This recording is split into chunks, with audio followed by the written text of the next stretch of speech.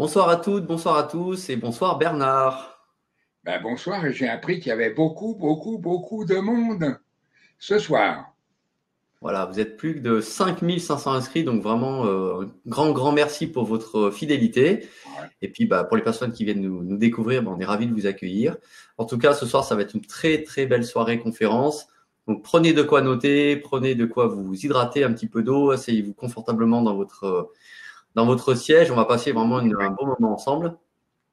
Et puis vous allez découvrir ce soir beaucoup de nouvelles, en tout cas des informations vraiment inédites sur l'intuition et les, là les ah, Totalement inédite. Hein.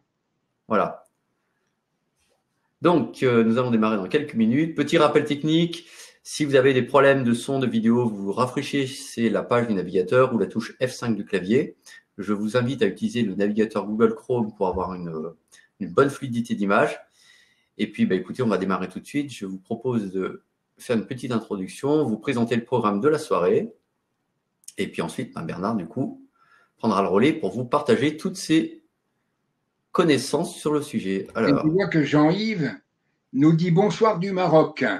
Eh bien, je vais au Maroc, Jean-Yves, à la fin du mois de mars. Voilà, bonne nouvelle. Voilà, à la demande de proches du roi.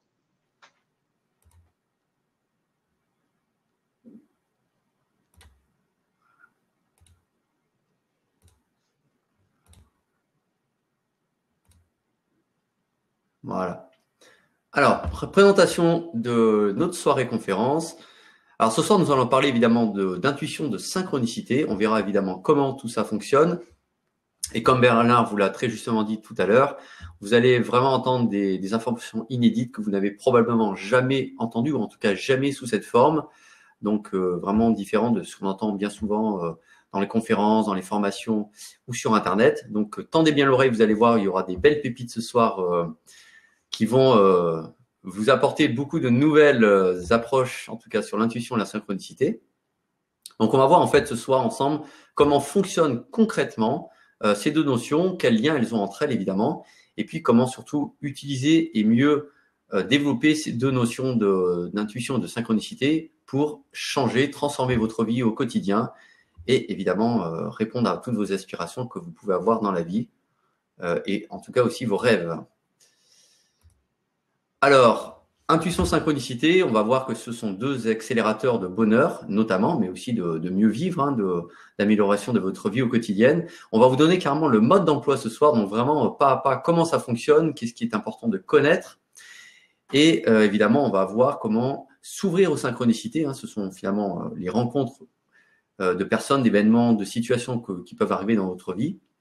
Et puis, on verra aussi que, bah, en fait, le hasard, la chance n'existe pas et qu'en fait, on parle plutôt de synchronicité, mais évidemment, Bernard vous dévoilera tout, euh, le, fonctionnement, puis comment on génère évidemment ces, grands moments qui peuvent transformer une vie. Et on a beaucoup hein, des, personnes parmi nos, clients qui ont eu vraiment des, grands chamboulements dans leur vie pour le meilleur grâce à ces fameuses synchronicités, évidemment aussi à l'outil qui est l'intuition. Alors ce soir, nous allons voir ensemble bah, du coup, qu'est-ce que l'intuition hein? On verra que c'est un phénomène, une capacité du cerveau. On verra aussi le lien qu'on peut faire avec les alchimistes de la Renaissance. Donc ça, Bernard, pareil, est l'un des seuls à nous en parler parce que vous verrez toute l'historique et toute l'histoire euh, de là où des neurosciences d'aujourd'hui, en fait, prend en partie sa source dans l'alchimie de la Renaissance. Euh, comment manifester en nous, évidemment, cette, euh, cette, ces synchronicités et cette intuition? Peut-on accéder à plus d'intuition? On parle beaucoup d'intuition dans le monde de l'entreprise, mais ou dans le monde du coaching, mais concrètement, qu'est-ce que c'est, d'où ça provient, euh, et puis surtout comment l'utiliser pour, euh, pour l'utiliser au quotidien dans sa vie. On verra ce que sont les synchronicités, mais surtout comment on les génère et comment on peut les, accélérer, comment on peut générer plus de synchronicité. On verra aussi comment nous sommes guidés dans notre vie, quel lien on peut faire justement avec cette fameuse intuition, cette synchronicité Peut-être que Bernard nous parlera, j'imagine, de l'âme, de l'esprit et du, évidemment du cerveau, bien entendu. Quel lien peut-on faire entre les trois? Et puis on verra un petit peu aussi euh, le lien entre synchronicité et intuition, en quoi l'intuition peut être une partie prenante, ou en tout cas générer des synchronicités, comment les deux s'entremêlent. Et puis on verra un petit peu à la fin un programme que évidemment Bernard vous proposera, qu'on a mis en place déjà depuis, je crois maintenant plus de deux ans, il me semble. On a euh, un très grand succès et succès surtout parce qu'on a pu aider des gens à transformer leur vie et vraiment à vivre mieux et sur tous les plans, sur le plan professionnel, personnel, amoureux, relationnel. Et donc vraiment on est on est fier de pouvoir aider toutes les personnes à améliorer leur vie au quotidien. Donc ça, ça sera euh, une dernière partie qu'on vous présentera en milieu de soirée. Et puis évidemment, nous aurons toute une partie de questions-réponses. Donc Bernard se fera un plaisir de répondre à toutes vos questions durant le webinaire, dans la deuxième partie. Et puis, bah, écoutez, préparez vos questions. Moi, je les noterai au fur et à mesure, mais on vous redonnera un petit peu le, le moment, le timing pour vous nous poser toutes vos questions. En quelques mots, pour les personnes qui nous ont rejoints ce soir, qui ne connaîtraient pas encore notre cher Bernard Michel Boissier, que vous connaissez maintenant, alors évidemment, Bernard a été à l'origine aussi d'un test de personnalité très très connu qui s'appelait à l'époque My Pandora Test, qui a été évidemment renommé entre temps. Donc l'ADMCI. Euh, Bernard a été aussi, euh, alors ça c'est vraiment exceptionnel hein, pour les personnes qui le découvrent. Euh, tu as été d'ailleurs à la rencontre de très grandes personnes comme Napoléon Hill, que la plupart des gens connaissent ce soir évidemment, Raymond Abrezol, Roger Spéry. tu as aussi rencontré bien évidemment des grands personnages comme Jung, vous connaissez évidemment aussi, en tout cas peut-être ses ouvrages écrits. Donc c'était des rencontres fabuleuses qui ont vraiment, qui t'ont permis d'apporter toute cette, toute cette connaissance. Et puis bon, on ne cite pas tout le monde, mais tu as rencontré aussi beaucoup d'autres personnes. Et puis on peut noter que tu as été aussi dans le domaine de la médecine. Tu t'es formé en médecine évidemment en Suisse, et puis ensuite tu as été plusieurs années après thérapeute à Paris pendant plus de dix ans, et tu as notamment accompagné beaucoup de personnes qui étaient notamment des grands malades et donc, tu as vraiment à la fois l'expérience du terrain, puis le côté théorique. Et puis, tu es aussi un chercheur, tu es un scientifique. C'est ça qui est important. Beaucoup de personnes vous parlent de ces sujets, mais Bernard, ce soir, va vous, apporter une approche vraiment scientifique. Et c'est ça qui va faire toute la différence. Des choses qui ont été prouvées, démontrées et qui sont reproductibles et qu'on constate, euh, en tout cas dans la durée. Il a fait la recherche fondamentale. Il était directeur d'un laboratoire de recherche, évidemment. Il a aussi beaucoup euh, conseillé des laboratoires pharmaceutiques il était à l'origine aussi de, médicaments qu'on fait de, en tout cas, de, grands effets bénéfiques sur beaucoup de, patients. Et puis, ben, comme je disais, tu as passé beaucoup de, temps à aider les gens à être mieux dans leur vie, notamment des malades. Et voilà, donc tu es une personne vraiment beaucoup portée dans l'humain. Et c'est ça qui va aussi faire euh, toute l'alchimie, si je peux remployer ce terme, de ton approche et notamment de ta méthode. Donc, tu as aussi passé évidemment beaucoup d'années dans le monde de l'entreprise. Hein, et d'ailleurs, aujourd'hui, tu es de plus en plus sollicité. Tu disais tout à l'heure, tu vas aller en Afrique, tu vas aller au Maroc et tu as d'autres voyages prévus parce que ben, tu, apportes au monde de l'entreprise bah, toute la partie créativité, intuition, évidemment, puis aussi euh, beaucoup d'autres euh, éléments qui peuvent permettre à une entreprise de se développer, de développer son, son projet, de développer ses idées. Et puis, évidemment, tu étais aussi à l'origine de cette fameuse méthode que tu appelles la dynamique cérébrale et mentale interactive dont on vous parlera évidemment dans la deuxième partie. Et puis je terminerai en disant que tu as aussi un dicton que tu nous cites très souvent, qui est de dire faites de votre vie un rêve et d'un rêve une réalité. Voilà. Alors, bah, on vous souhaite une très belle conférence ce soir en la présence de Bernard. Et puis, bah, la première question que j'ai envie de te poser, Bernard, c'est finalement, on entend beaucoup parler d'intuition dans le monde de l'entreprise, dans le monde du coaching, dans le monde du développement personnel, mais de ton point de vue de scientifique et de ton point de vue d'expérimentateur depuis plus de 40 ans dans ces domaines-là, pour toi, est-ce que qu'est-ce que tu pourrais nous dire de l'intuition? Qu'est-ce qui est vraiment l'intuition au final? Ben, écoute, euh, bonsoir Olivier et merci de ton excellente présentation. J'avais l'impression que je pouvais partir, que tout a été dit. Alors tout a été dit par Olivier ce soir. Mais tout mérite tout de même euh, quelques complémentarités, euh, aucune contradiction. Et il est vrai euh, que l'on parle beaucoup, beaucoup, beaucoup et beaucoup trop d'intuition. Mais est-ce que l'on sait vraiment ce qu'est l'intuition. Alors, je commencerai ma conférence par une, sorte de, une illumination. Car l'intuition, est une illumination. Et pour cela, je vais faire appel à un très grand savant qui était un, intuitif absolument exceptionnel, à qui l'on doit énormément de découvertes scientifiques. Il s'agit du grand savant, le dernier savant universel, qui s'appelait Jules-Henri Poincaré, connu dans les ouvrages ou sur Internet, mais très peu connu. C'est une personnalité très méconnue et pour beaucoup de raisons. Il, euh, a disparu complètement euh, de la scène publique et on ne connaît rien quasiment de sa vie. Il s'agit de Henri Poincaré. Alors ce soir, il n'est pas question de parler uniquement de Poincaré. On va le retrouver à plusieurs reprises. Pourquoi? Eh bien parce que je vais entrer dans cette conférence par la plus puissante citation que l'on puisse proposer sur l'intuition, c'est l'intuition est comme une pensée. Une pensée qui surgit, qui éclaire une longue nuit. Ce que les spécialistes de la spiritualité appellent la longue nuit de l'âme. Les religieux, que ce soit les bénédictins, les religions, les religieux qui pratiquent des méditations religieuses profondes parlent de la longue nuit de l'âme. Il n'y a point qu'à dit, l'intuition est une pensée. Est une pensée qui illumine une longue nuit.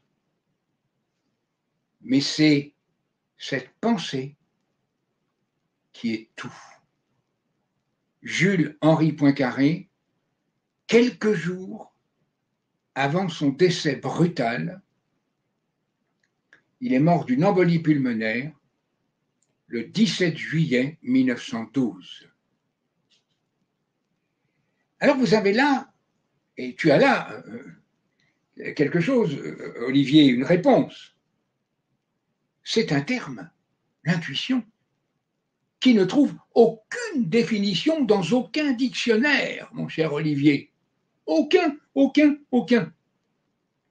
Et l'Académie française va être très embarrassée. Parce que pour pouvoir accepter un terme, il faut qu'il puisse avoir une définition. Alors Bernard, une petite seconde s'il te plaît, j'ai juste un petit problème, c'est que la vidéo ne veut pas se mettre sur toi depuis tout à l'heure, je ne sais pas pourquoi, je vais rafraîchir l'écran justement une petite seconde.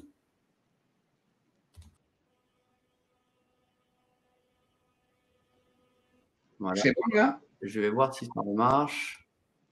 Je ne sais pas pourquoi. Moi je te vois. Je vais rester sur Google, mais je n'arrive pas à te remettre en vidéo, je ne sais pas ce qui se passe. Attends, j'ai bien arrêté le partage. Euh, j'attends juste euh, une vingtaine de secondes, juste le temps de vérifier que ça marche. Par contre, est-ce que le son a été bon? Ah, là, on te revoit en vidéo, donc super. Bon. Et est-ce que... Je ne vais pas redire ce que j'ai dit là. Non, non, non, écoute, c'est. Ah très bien, très bien, très bien. En fait, je vous disais que. Ah oui, j'avais été interrompu. Euh, dans ce que je disais, c'est que l'Académie française, pour accepter un nouveau terme, est dans l'obligation de pouvoir proposer une définition. Or, il n'y a aucune définition de l'intuition. N'en déplaise à tous ceux qui se déclarent être des professionnels de l'intuition. Il y en a des, des quantités, des conférenciers, des coachs, des coachs qui font des formations, sur l'intuition auprès du grand public. et surtout auprès des entreprises. Mais il faut savoir que justement, l'intuition, c'est un terme qui n'a aucune définition précise. Ce que je viens de vous présenter dans cette longue nuit, l'illumination d'une longue nuit, mais cette illumination est tout, ce n'est pas une définition de l'intuition, c'est une citation. Et une citation n'est absolument pas une définition.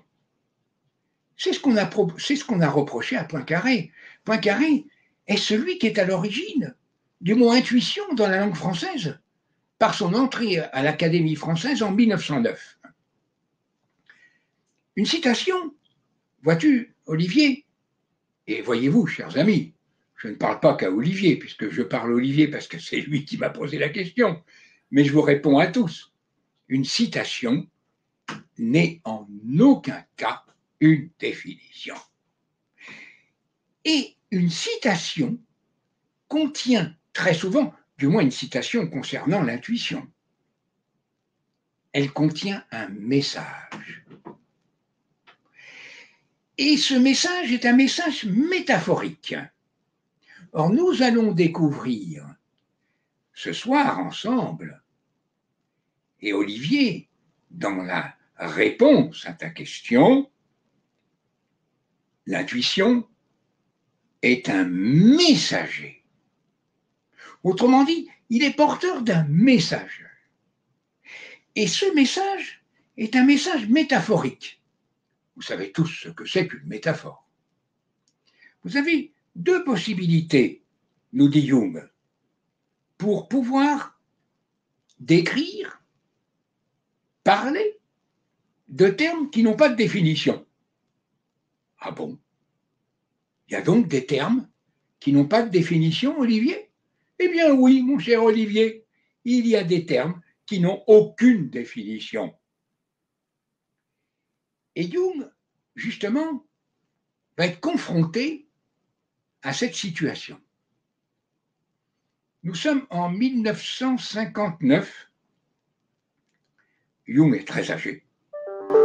C'est le dernier voyage qu'il va faire aux États-Unis.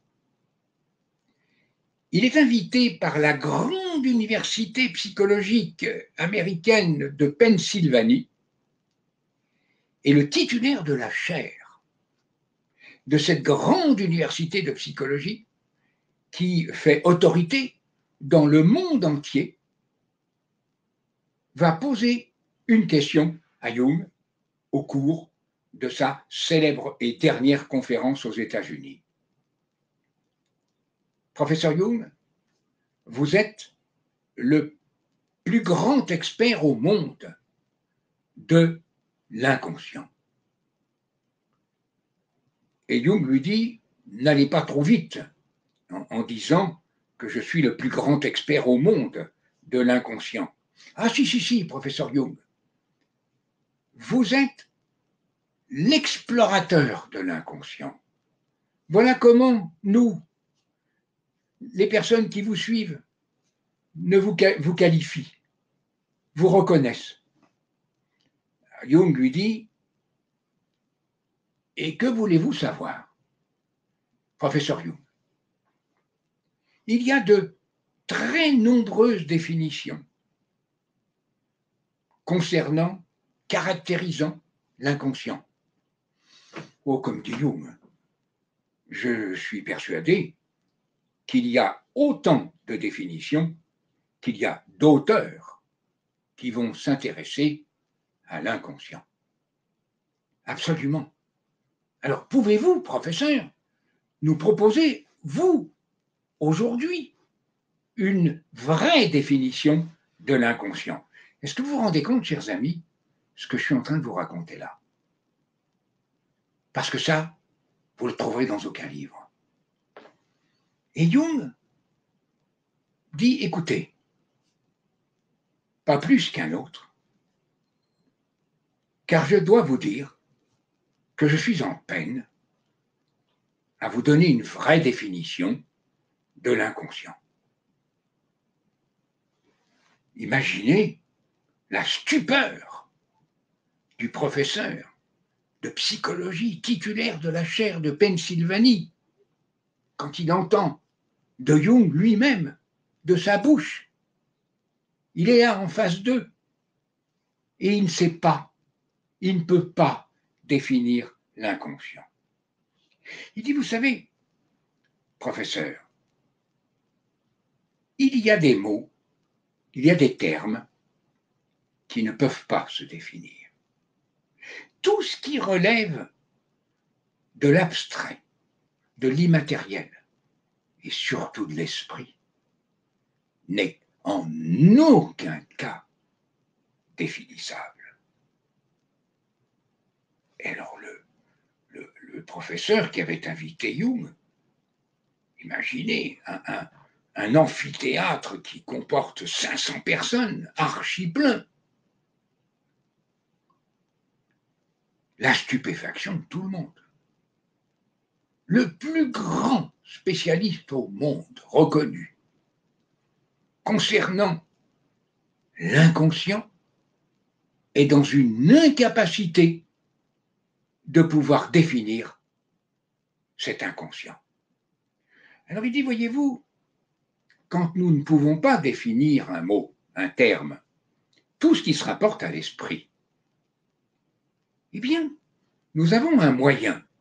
Et nous avons un moyen qui est connu depuis très longtemps, puisque c'est un moyen qui, était connu par les alchimistes.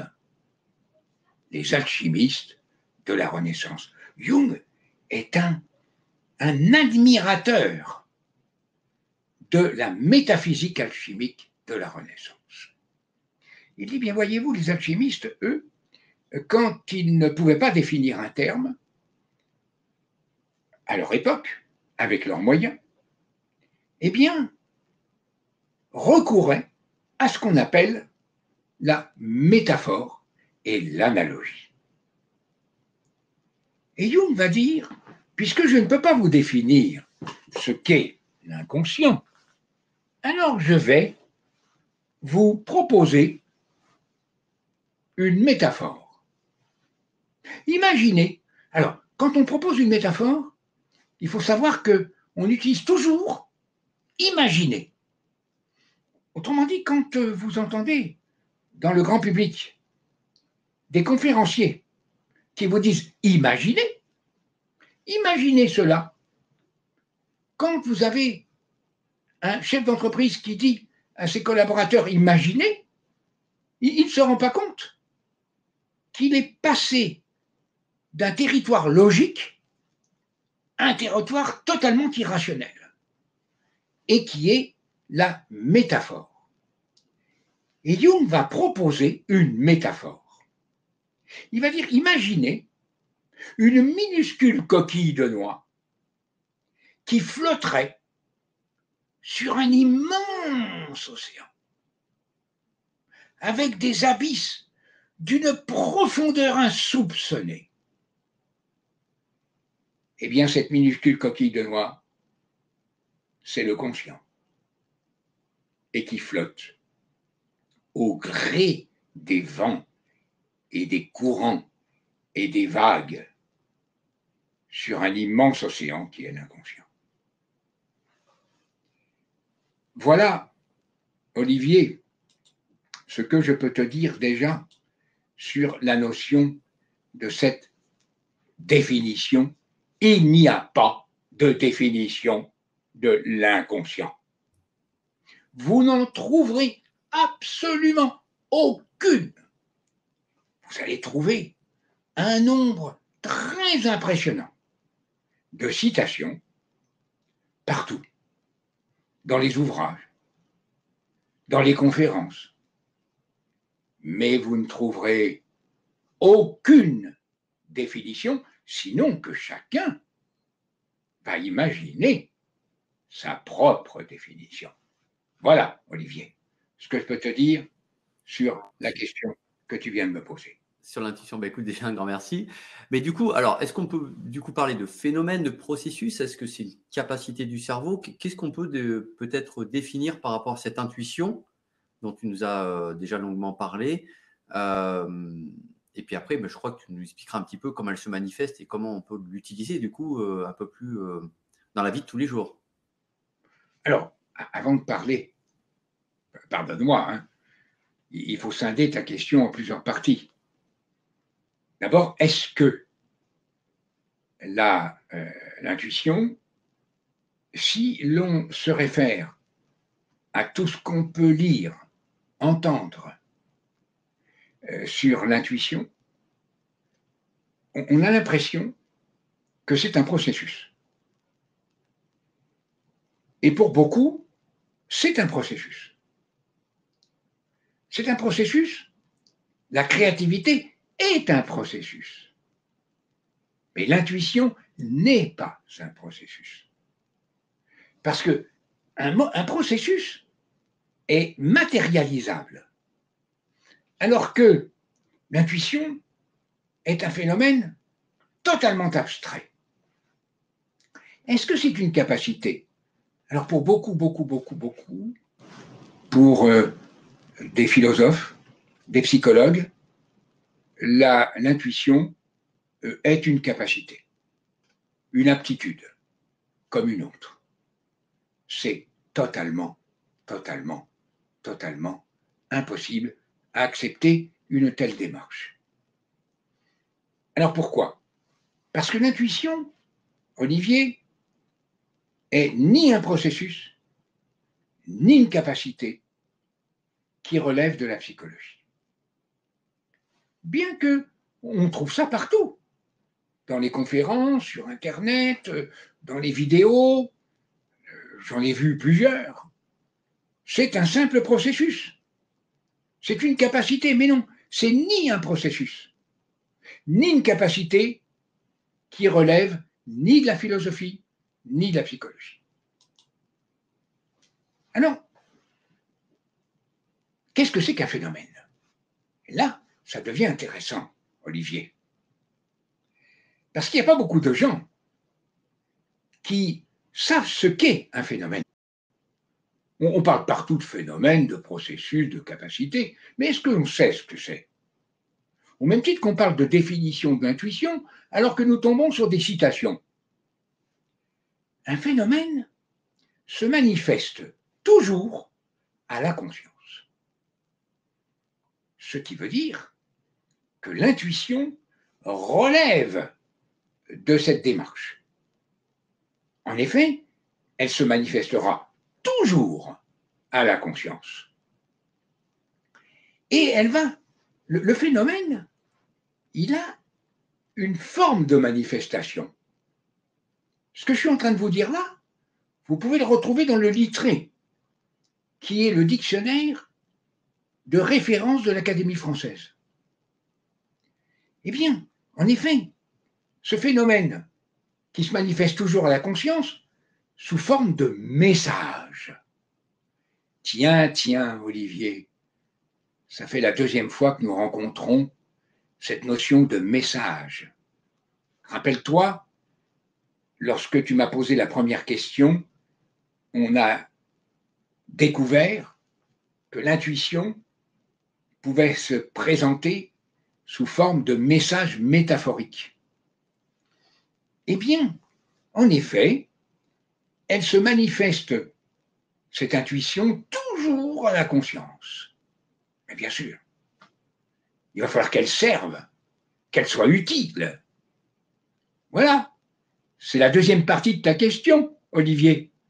Mais je ne vais pas y répondre tout de suite. Pourquoi? Parce que je trouve que ce serait prématuré. En effet, c'est un phénomène qui se manifeste toujours à la conscience sous forme de messages et, par l'intermédiaire de notre cerveau. Alors, ce n'est pas une capacité du cerveau, mais ce phénomène va passer, va être en corrélation, et une corrélation n'est pas identité, eh bien, en corrélation avec notre cerveau. Alors, je serais tenté de compléter un petit peu, Olivier, cela. En effet, il y a très peu de personnes qui, probablement, ont entendu parler du grand William James, qui est professeur titulaire de neuropsychologie de la faculté de médecine d'Harvard au début du XXe siècle. Qui est William James? Il est le fondateur de l'Institut de l'esprit et du cerveau. Et c'est cet institut de l'esprit et du cerveau qui va donner naissance à une nouvelle science qu'on appelle la neuroscience. Pour William James, l'intuition est un phénomène, ce n'est pas un processus. Attention, William James a consacré toute son existence sur l'intuition. Il est, comment dirais-je, interpellé par ce phénomène que l'on ne comprend pas, euh, que l'on trouve euh, souvent, euh, comment dirais-je, très mystérieux. L'intuition, selon le grand William James, est un phénomène psychique. Tiens, tiens. On va se rapprocher de Jung. Alors, pour le grand William James, c'est un phénomène psychique naturel. Oui, oui, ça fait partie de la nature humaine. L'intuition est un phénomène psychique donc qui appartient à l'espèce humaine. Est-ce que l'animal est doté d'intuition? L'animal est doté d'une forme primaire d'intuition que l'on appelle l'instinct. Autrement dit, l'homme a modifié l'instinct animal pour la transformer en phénomène psychique naturel normale que l'on appelle l'intuition. Et William James va approfondir le sujet en disant, naturellement, c'est un phénomène habituel qu'on va rencontrer chez tous les humains. Attendez, hé, Olivier, ça c'est une sacrée nouvelle quand même. Hein. ça veut dire qu'il n'y a pas un être humain qui naît sans cette ce phénomène psychique qui peut se libérer ou non. On va le voir ensemble au cours de cette conférence. Un phénomène psychique naturel, normal, mais William James ajoute étrange. En effet, ce n'est pas un phénomène ordinaire. Il est étrange. Il est inquiétant il est inquiétant ce phénomène. L'intuition est inquiétante. Chers amis, ne croyez pas que ce soit un phénomène simple, un phénomène que l'on peut euh, adopter, que l'on peut, comment dirais-je, euh, qui est familier. Oh, pas du tout. Quand vous vous rendez compte que vous avez des gens comme William James, qui sont des personnalités immenses, pour la plupart dont les travaux ont été mis au rebut et dont on ne peut retrouver les sources que dans des bibliothèques, dans des documents poussiéreux qui datent du début, la fin du 19e siècle, 1898 ou 1904, faculté de médecine d'Harvard. C'est un phénomène psychique naturel, normal, nous dit M. William James. Étrange, inquiétant et totalement inexpliqué. Eh bien voilà, là je pense que nous avons une réponse concernant l'inconscient. Maintenant, à quoi nous sert-elle dans la vie? Je pense que là, c'est une autre question. Et je peux te dire que, avant de parler de la manière dont on va se servir de ce phénomène étrange, inquiétant, merveilleux. Ceci, Olivier, nous permet de dire qu'il faut mettre un trait à tout jamais sur tout ce qui va être magique. On n'est pas dans la magie. On n'est pas dans l'ésotérisme. On n'est pas dans le cultif. J'ai beaucoup de respect pour l'ésotérisme. J'y ai mis les pieds pendant des années. J'ai beaucoup de respect. J'y ai moins mis les pieds. Je trouvais ça plus inquiétant, plus préoccupant, l'occultisme. Mais je respecte toutes les croyances. Mais par contre, il est évident que là, on est dans un phénomène psychique qui n'a rien à voir avec le côté magique que l'on voudrait nous faire accepter par ces notions de, comment dirais-je, de pensée positive ou de loi d'attraction ou il n'y a rien de magique dans tout ça. Tout est on, va, on, va percevoir, on va, on va vivre la manifestation sans pouvoir l'expliquer. Voilà, Olivier, la première, partie de la question que tu m'as posée, la deuxième, nous la verrons un tout petit peu plus tard si tu le permets. Voilà. Mais du coup, alors si ce phénomène est si mystérieux et, du coup ne peut pas avoir le contrôle puisque ce n'est pas un processus comme tu l'as bien euh, rappelé. Alors du coup, comment est-ce que l'intuition se manifeste en nous Est-ce qu'il y a des signes Est-ce qu'il y a des moments Est-ce qu'il y a des événements Est-ce qu'il y a des éléments qui permettent de savoir qu'on est dans l'intuition? Alors oui, oui, oui, oui. Oui, parce que l'intuition ne se manifeste pas euh, comme ça par hasard. Euh, je serais tenté de te dire, Olivier, et, je crois que je le dis, et je le répète, et, notamment, je l'ai euh, peut-être pas, oui, je l'ai découvert, mais je l'ai surtout approfondi avec euh, une grande personnalité qui a travaillé sur la notion du hasard, qui s'appelait Karl Otto Schmidt, et qui a écrit un petit ouvrage merveilleux que je conseille à tous ceux qui sont là ce soir parce que vous aurez des réponses, mais dont vous ne pouvez imaginer.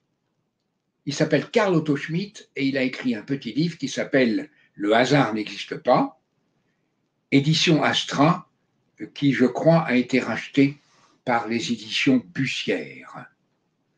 C'est un petit livre, un tout petit, un petit livre broché, qui est une merveille et qui va nous apporter des réponses ce soir. Le hasard n'existe pas. Alors déjà, c'est pas par hasard que l'intuition va se manifester, puisque, c'est un phénomène, on a vu que ce phénomène se manifestait. Et il se manifestait dans la conscience, bien sûr. Comment voulez-vous qu'un phénomène puisse se manifester dans une dimension non consciente de l'esprit? Vous n'auriez pas conscience. L'intuition pourrait peut-être se libérer, mais vous, vous n'en seriez pas conscient. Donc ça, il faut quand même que vous reteniez ça, que c'est un phénomène conscient. Mais attention, tu m'as posé une question en premier, à laquelle je vais répondre. C'est d'où vient l'intuition? Alors d'abord, il y a des conditions pour lesquelles l'intuition va pouvoir euh, émerger. Car l'intuition, nous dit Poincaré en 1909, l'intuition, vous retrouvez d'ailleurs cette définition dans le, cette, cette citation, pardon, c'est pas une définition. Ça a été confondu, là. La preuve, c'est tellement confondant que moi je vous dis aussi une définition. C'est pas une définition. C'est une citation. Poincaré a proposé une citation pour tenter de d'éclairer pour l'Académie française d'abord, parce qu'il a fallu faire accepter ce mot, intuition. Euh, tu vois, Olivier, on, va avoir l'historique. comment, comment ce mot a été inscrit à la langue française? Il n'est jamais été inscrit à l'Académie française avant 1909. Date d'entrée à l'Académie française du grand savant Poincaré. Pourquoi? Parce que Poincaré, il a posé ses conditions. Vous vous rendez compte Est-ce que vous imaginez, chers amis, il y en a qui font la queue, qui sont prêts à, vendre leur belle-mère, qui sont prêts à, se, comment dirais-je, à, commettre euh, les pires méfaits pour pouvoir entrer à l'Académie française. C'est qu'il n'y a pas, il n'y a pas beaucoup de personnes. Il faut qu'il y ait une personne qui décède pour qu'on puisse permettre à quelqu'un d'autre de prendre la place. Car il y a un nombre extrêmement limité, je ne sais plus, je l'ai su, il y a un nombre très très limité de sièges. Et donc, Poincaré va être coopté, car on est coopté pour entrer à l'Académie française. Il faut d'abord avoir euh, un certain passé. Il faut euh, justifier.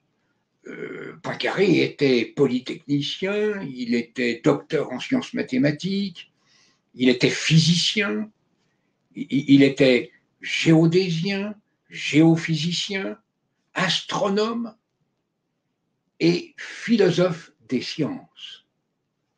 Et c'est cette caractéristique de philosophe des sciences qui a fait qu'on a voulu euh, qu'il rentre à l'Académie française. pourquoi? Parce qu'il y avait de plus en plus de mots qui euh, dépendaient des sciences. Et donc, il fallait un scientifique de renom euh, pour pouvoir euh, être président de commission, car ce sont des commissions euh, qui vont proposer des termes nouveaux à l'Académie française. Et l'intuition est un de ces termes nouveaux. Tu vois, Olivier, ça vaut la peine quand même. Alors, qu'est-ce que Poincaré a décrit comme citation, qu'est-ce qu'il a proposé à l'Académie française? Qu'est-ce que l'intuition? L'intuition, c'est une connaissance, dit Poincaré, qui va au-delà de la connaissance. Ah. on a toujours un au-delà et un non-de-ça pour l'intuition. D'où vient l'intuition et où va l'intuition? Et enfin, à quoi sert l'intuition? C'est une connaissance. Au-delà de la connaissance, qui ne recourt jamais à un raisonnement logique. Ça, c'est très important.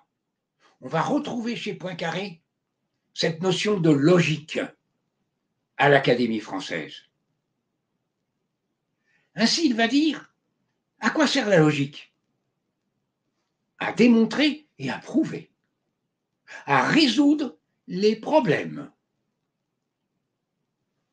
Mais, il va dire, c'est une connaissance au-delà de la connaissance, qui ne recourt jamais un raisonnement logique qui provient toujours de l'inconscient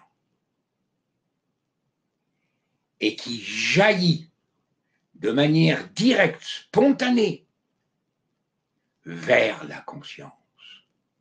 Autrement dit, pour Poincaré, l'intuition est une dynamique de conscience. Que je vous dis là, ce que je te dis là, Olivier, on ne le retrouvera nulle part. Hein. Il a fallu des études et il a fallu retrouver des textes de Poincaré qui sont totalement inédits et qui sont en ma possession. Et donc, Poincaré est pour moi un modèle vivant. D'ailleurs, quand il est mort, le 17 juillet 1912, et au moment de son enterrement, Darbou, qui était le secrétaire euh, perpétuel de l'Académie des sciences, qui était un ennemi, mais juré de l'intuition et de Poincaré, a dit Nous enterrons aujourd'hui le cerveau vivant des sciences.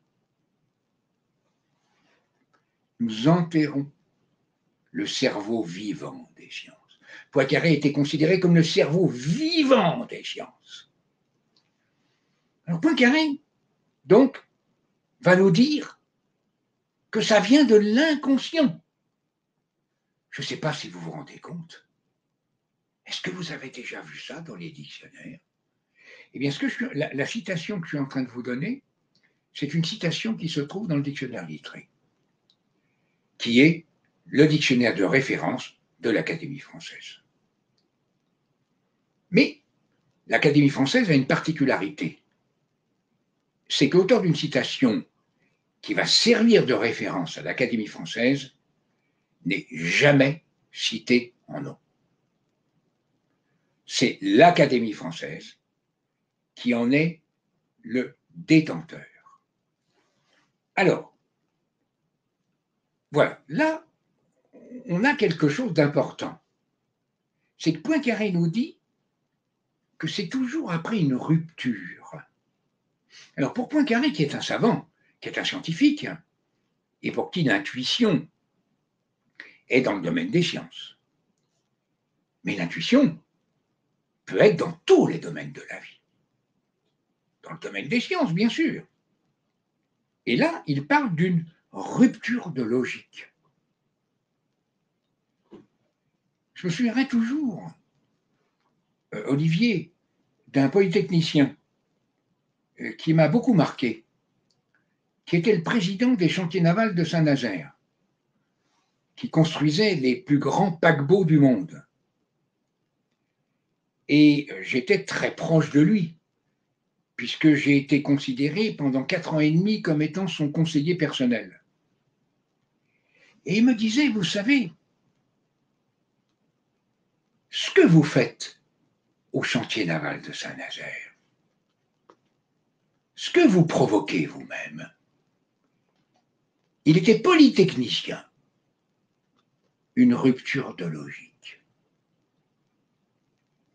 Et il me l'avait dit ça parce que je lui avais fait entrevoir que pour Poincaré, si l'on voulait libérer l'intuition le potentiel intuitif, il fallait provoquer une rupture.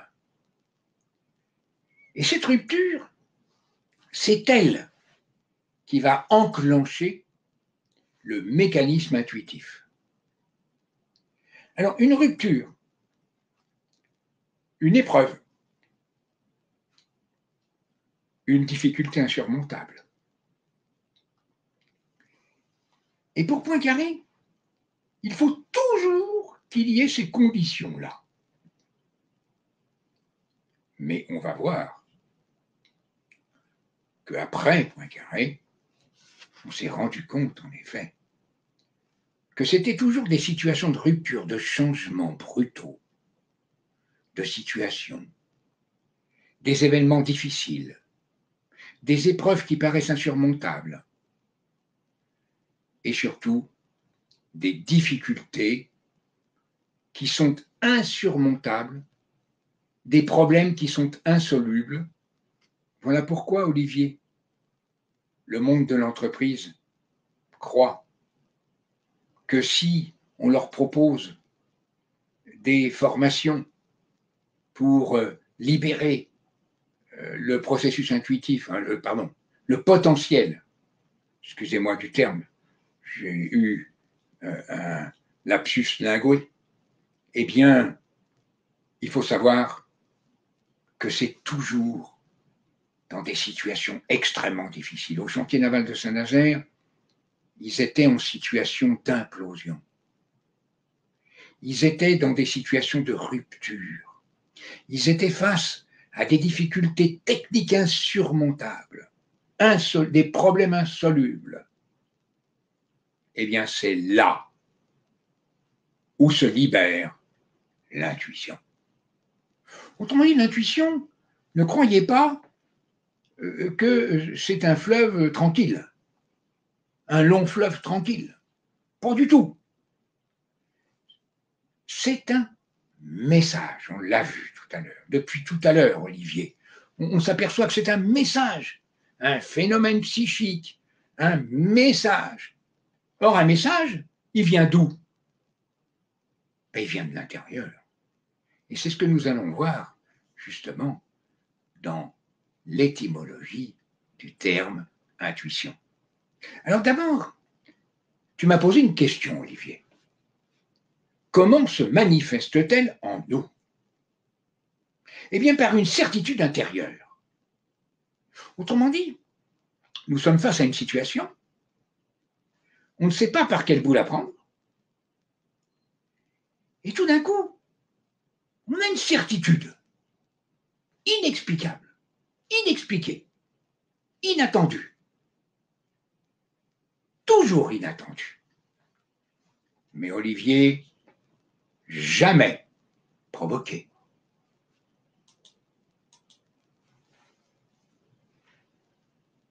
Voilà. Bah, du coup, alors si c'est un phénomène euh, finalement qui n'est pas tellement contrôlable, euh, d'ailleurs, je crois que tu en parlais la dernière fois, hein, tu disais, je crois que c'était le messager de l'inconscient. C'est le messager de l'inconscient. Exactement, c'était ton expression exacte, je crois. Mais alors, euh, bah, si on en a là, du coup, comment fait-on pour accéder à Excuse-moi, excuse-moi, je, t'interromps hein, juste là. Pour rectifier quelque chose. Attention, ce n'est pas de moi. C'est Jung qui considérait l'intuition comme, comme étant un, messager de l'inconscient avec le rêve. Il, le mettait au même rang que le rêve, Jung. Et, et il considérait que le rêve était lié à l'intuition et que l'intuition était une forme de rêve. Attention, comprenne qui pourra dans ce que je suis en train de dire là. Mais c'est un messager de l'inconscient. Autrement dit, il est porteur d'un message. Là, je peux vous dire, je pourrais vous donner des exemples. Peut-être que tu en veux, là, après tout. Oui, si tu veux nous donner des exemples, c'est une très très bonne idée. J'ai euh, le cas d'une personne euh, qui était en situation euh, de, de changement ah, tiens, intéressant. Voilà. Hein, parce que si je suis dans une situation tout à fait ordinaire, il ne se passera rien. Je n'ai pas besoin de message.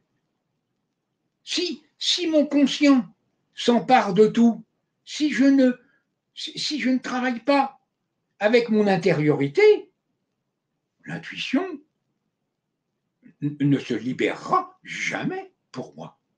Vous avez des gens qui n'ont jamais, jamais, jamais le moindre message intuitif.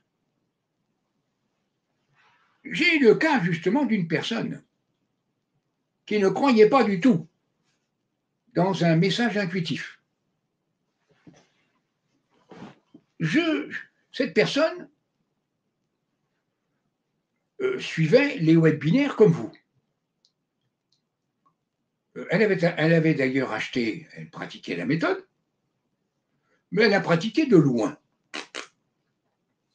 Elle pensait qu'elle savait tout ça.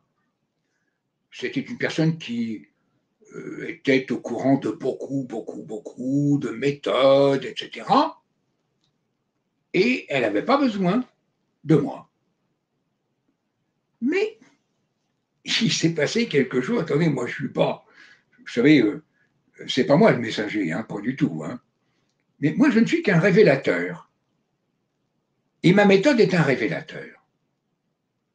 Parce que malgré tout, elle a voulu se lancer dans ma méthode. Alors elle est descendue. Eh ben, elle était très, appliquée. Euh, elle est descendue avec une tension intérieure qu'on appelle le stress. Imaginez que si, donc en dysfonctionnement complet du cerveau, attention, Olivier, ça va remettre en question pas mal de choses, hein, ce que je vais dire ce soir-là. Et cet euh, événement est arrivé il y a très peu de temps. Or, cette personne est dans une situation de rupture, une rupture professionnelle. Elle est dans une situation de changement avec une invisibilité complète, elle ne sait pas où elle va, euh, elle est dans une situation de tension intérieure, bravo, dysfonctionnement du cerveau. Et on va voir que l'intuition est capable de d'envoyer un message violent, et je dis bien violent, à la personne qui ne veut pas entendre quoi que ce soit. Ça, vous, vous avez ça, vous discutez entre vous, vous vous racontez des histoires de ce genre, tous les jours. Là, c'est quelque chose de précis, Olivier. Cette personne est une personne vivante. Bien sûr, je tais et son prénom et son nom parce qu'elle risque de se reconnaître. Or, cette personne va un matin, elle est dans une situation, mais épouvantable. Elle a peur de ce qui va se produire. Elle a de moins en moins d'argent. Elle se demande comment elle va faire pour vivre. Et qu'est-ce qu'elle va devenir? Elle a plein d'idées, mais aucune n'aboutit. Formidable, Olivier. Elle a plein d'idées. Hein Elle a plein d'idées. Et aucune n'aboutit. Tu te rends compte, Olivier? Avoir plein d'idées et ne pas avoir d'aboutissement. Qu'est-ce que tu en penses? Hein, ça, ça doit quand même remuer à l'intérieur. Hein. Être assez frustrant, Voilà. Et eh bien cette personne ne se rend pas compte. Elle est en état de surtension intérieure. Son cerveau est en dysfonctionnement. Alors ça va remettre en question beaucoup de choses sur l'intuition et la synchronicité, Olivier. Tu m'as demandé à quoi sert l'intuition Tout d'un coup, je me suis rappelé cette euh, anecdote.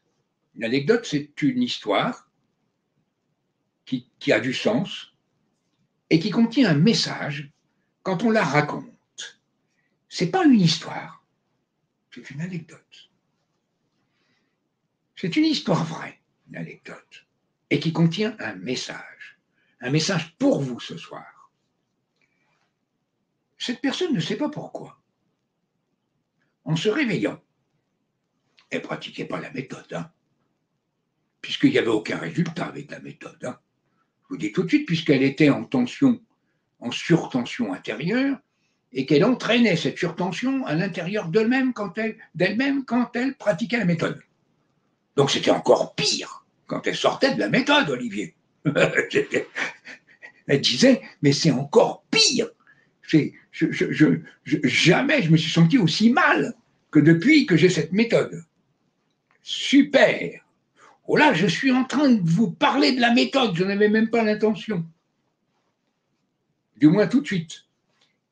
Eh bien, voyez-vous, et ça c'est peut-être aussi un message de l'inconscient. Pourquoi je vous raconte cette histoire? Parce que c'est une histoire absolument saisissante. Et c'est une histoire qui peut arriver à tout le monde. Et donc, cette personne va tout simplement, je vais vous le dire, le matin en se réveillant, elle ne sait pas pourquoi, elle pense à une situation de rupture professionnelle qui est arrivée dix ans auparavant.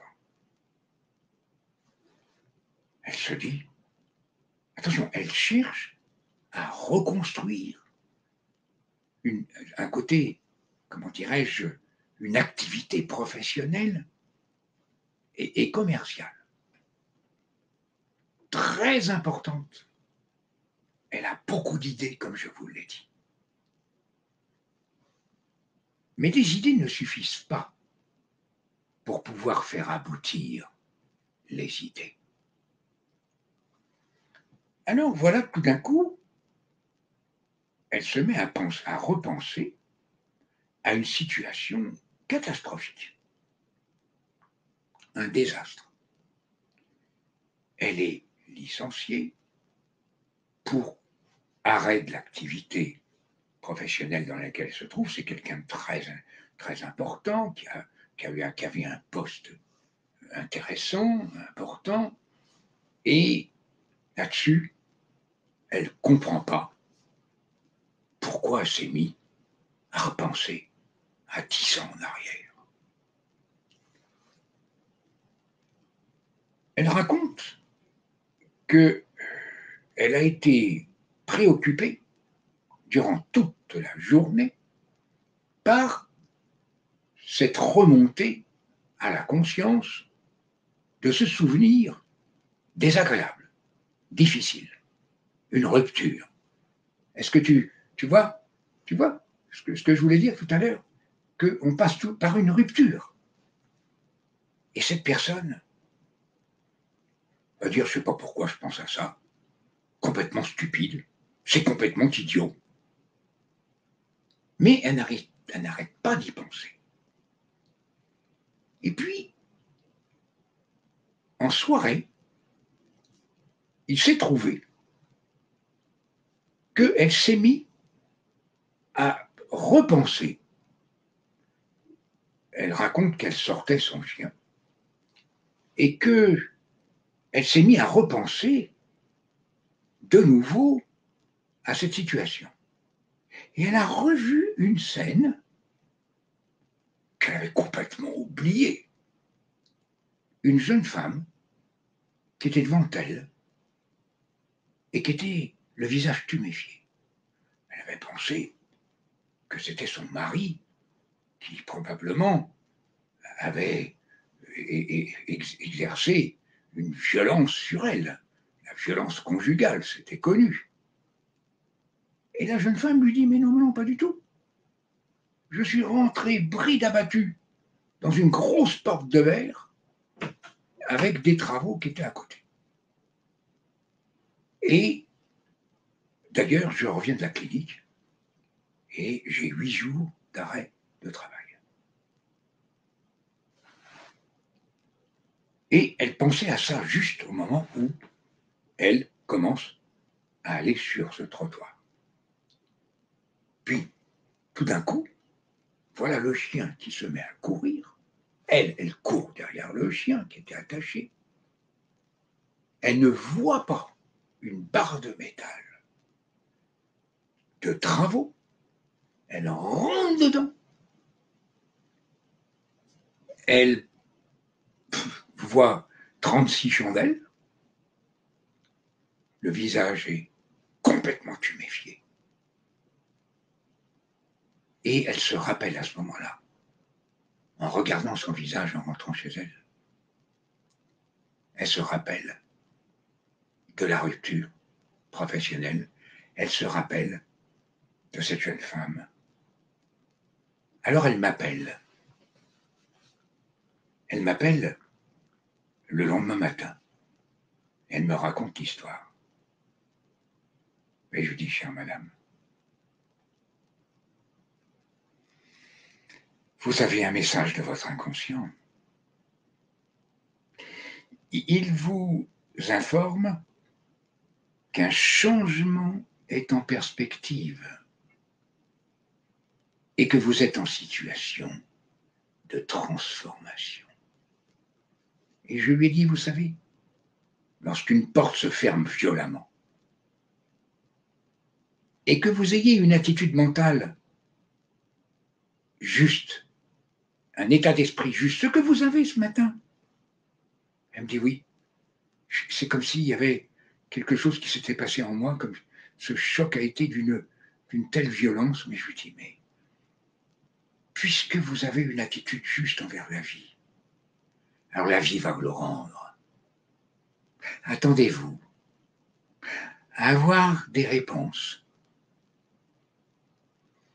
Elle me dit, mais qu'est-ce qui s'est passé? Vous avez eu un message de l'inconscient C'est l'intuition.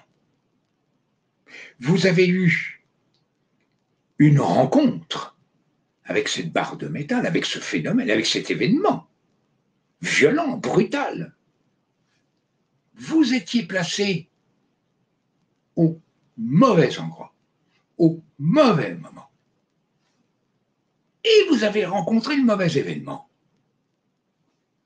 Mais sachez que votre attitude d'esprit, qui est bonne, qui est juste, va faire que cette porte que vous désirez, que vous, que vous voulez, que vous désirez, une porte est en train de s'ouvrir, mais elle est dans l'invisible. Et continuez à être dans cette attitude juste d'esprit, à vous dire, mais pourquoi? Quel est donc le sens du message? Et je suis prêt à répondre concrètement euh, à ce message. Eh bien, sachez qu'elle m'a appelé 48 heures plus tard elle crée son affaire. Elle, elle est prête. Elle a rencontré la bonne personne parce qu'elle est au bon endroit au bon moment. Pouf. Je ne sais pas ce que tu en penses, Olivier, de ma petite histoire. Bah, ça illustre parfaitement le, bah, phénomène. Hein. On, passe du, de quelque chose qui est impalpable à quelque chose de très concret dans la vie d'une personne que tu as rencontrée, tu as accompagné. Et, mais d'ailleurs, à ce propos, on a, c'est un peu la question que j'allais te poser, mais il y a aussi plusieurs personnes qui nous la posent dans le chat. Mais une fois qu'on connaît ces éléments, est-ce qu'on peut accéder du coup à plus d'intuition ou pas? Est-ce que c'est possible? Est-ce qu'il y a une méthode? Est-ce que c'est quelque chose qui est envisageable? Qu'est-ce que tu pourrais nous dire un petit peu là-dessus? Bah, l'anecdote euh, contient la question et la réponse. En effet, c'est tous les jours qu'on me dit, mais peut-on accéder à plus d'intuition? Oui, parce que c'est ce qu'on lit. D'ailleurs, je te pose ici la question, c'est ce qu'on voit beaucoup dans les livres, dans les conférences. Partout. Beaucoup de gens qui vendent même ça en entreprise, mais dans la réalité de ton expérience, est-ce que c'est vrai non, parce que plus d'intuition, moi personnellement, attendez, ça n'engage que moi. Hein, chers amis Et Olivier, je te réponds, ça n'engage que moi. Je ne dispose d'aucune vérité. D'abord parce que personne ne dispose de la vérité. Mais je ne crois pas que l'on puisse accéder à plus d'intuition. On va comprendre pourquoi d'ailleurs euh, par la suite. Or, beaucoup de professionnels, c'est ce que tu me dis d'ailleurs en substance, qui se sont spécialisés sur l'intuition, le promettent ça. Hein, venez, venez vers nous, on va vous proposer des formations et quand vous sortirez, vous accéderez à plus d'intuition.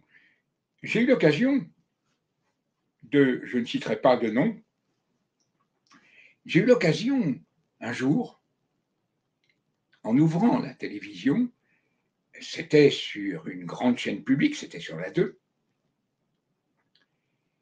et euh, le journaliste s'appelait Poujadas je ne sais pas pourquoi, je ne regarde pas souvent le journal télévisé. Mais ce jour-là, je ne sais pas, j'étais probablement un message de mon inconscient. Écoute quand même ce qui va être dit là. Et il y avait une jeune femme qui était interviewée par M. Poujadas. et qui garantissait, alors qui proposait d'ailleurs des formations euh, extrêmement coûteuses, luxueuses, où il y avait un monde fou qui venait vers elle. Elle s'était spécialisée, c'était une coach, qui s'était spécialisée dans l'intuition. Et cette personne-là promettait, et promettait d'accéder à plus d'intuition. Mais je dois dire que malheureusement, si vous croyez ça, alors vous êtes trompé. Car ceux qui vous font ces promesses-là sont totalement dans l'incapacité de tenir leurs promesses. Et en effet, est-ce que les effets recherchés sont véritablement au rendez-vous? La réponse, elle est. La réponse, elle est non, parce qu'on va avoir tout sauf la véritable intuition. On aura des techniques qui permettent des devinations. On aura des techniques qui seront des techniques euh, qui vont probablement euh, développer la créativité. La créativité, ça, c'est un processus et c'est une capacité du cerveau. Et qui peut se développer. Mais qui est toujours présente, cette créativité, dans l'intuition. Car la créativité, c'est la capacité du cerveau qui va permettre d'éclairer le chemin, qui va permettre au message de passer de l'inconscient au conscient. La créativité, c'est la fonction subconsciente du cerveau, entre conscient et inconscient. Voilà ce que je peux dire dans euh, cette dans, cela. Peut-on accéder à plus d'intuition? Alors, on risque de décevoir beaucoup de monde. Je réponds non. Du moins, ne venez pas chez moi chercher ces techniques, ces recettes qui n'existent pas. Voilà, Olivier, la réponse que je peux te faire. Eh ben, moi, ça le mérite très clair et de très, euh, on va dire, très éthique. Alors, du coup, ça nous amène à un autre sujet. Alors là, c'est un petit peu ton, une de tes, de tes grandes passions. Et alors, écoutez bien, les amis, parce que c'est quelque chose d'absolument passionnant. Et on va sauter d'un, d'un plan plutôt euh, explicatif à un plan, on va dire, on va revenir dans le passé. Alors là, vous, vous, imaginez un petit peu les, le décor de l'époque. Et alors, tu as envie de nous parler des alchimistes de la Renaissance. Et tu vas nous faire le lien entre l'intuition et l'alchimie de la Renaissance. Est-ce que tu peux nous raconter quels sont les liens entre ces deux événements, ces deux notions? Alors ça, ça mérite une histoire. Ah, complètement. Ou, un ensemble d'anecdotes. On fait un webinaire uniquement sur ce sujet. Attendez, euh, vous pouvez croire que tout ce que je vous raconte euh, est né de ma propre imagination. Oh, pas du tout je vais vous apporter, comme dit Poincaré, avec la logique, nous prouvons et nous démontrons. Avec l'intuition, nous trouvons et nous inventons. Et on voit que la logique, elle est indispensable dans l'intuition. Ça, je ne l'ai jamais entendu en dehors de Poincaré, Olivier. Jamais. Alors d'abord, savez-vous que ce terme intuition vient des alchimistes de la Renaissance? Peu de monde le sait. Et cela risque de vous étonner. Et vous donner, surtout ce soir, un éclairage complètement nouveau et totalement inattendu, une véritable bombe comme nous, dit notre cher Gilles de Maïbi Bouddha, sur la relation du conscient, du subconscient et de l'inconscient. Autrement dit, un éclairage nouveau sur la relation du cerveau et de l'esprit. Or, pour en être convaincu, Olivier, il faut passer par la logique. En effet, il faut passer par la logique. Alors, la logique, qu'est-ce qu'elle va nous apprendre? Nous sommes en 1909. Le grand savant Poincaré, encore lui. Vous allez dire, mais, il, est, il est complètement nubilé par Poincaré. Mais non. Mais si Poincaré n'était pas intervenu auprès de l'Académie française, vous n'auriez pas le mot intuition dans les dictionnaires. Et ça, je suppose que très peu d'entre vous le savaient. Que c'est un savant français qui est à l'origine du mot intuition, qui va même aller jusque dans l'anglais, dans l'allemand, en traduction. En 1909, Poincaré est sur le point d'entrer à l'Académie française. Sully Prudhomme vient de décéder. Le, poète, philosophe, Sully Prudhomme, tout le monde le connaît. Et Sully Prudhomme vient de décéder et son fauteuil est vacant. On a besoin d'un grand scientifique à l'Académie française. On n'en a pas. Alors le nom de Poincaré circule et il est coopté. Poincaré est invité dans euh, ce haut lieu qu'est l'Académie française et on lui expose ce qu'est l'Académie française et pourquoi il est coopté? Poincaré a une particularité. Il est d'une rare humilité. Il se moque complètement que l'on puisse mettre son nom euh, sur des, des œuvres. Euh, bien sûr qu'il met son nom sur euh, tous les mémoires qu'il a pu écrire, 700 mémoires. On a trouvé 700 mémoires après sa mort.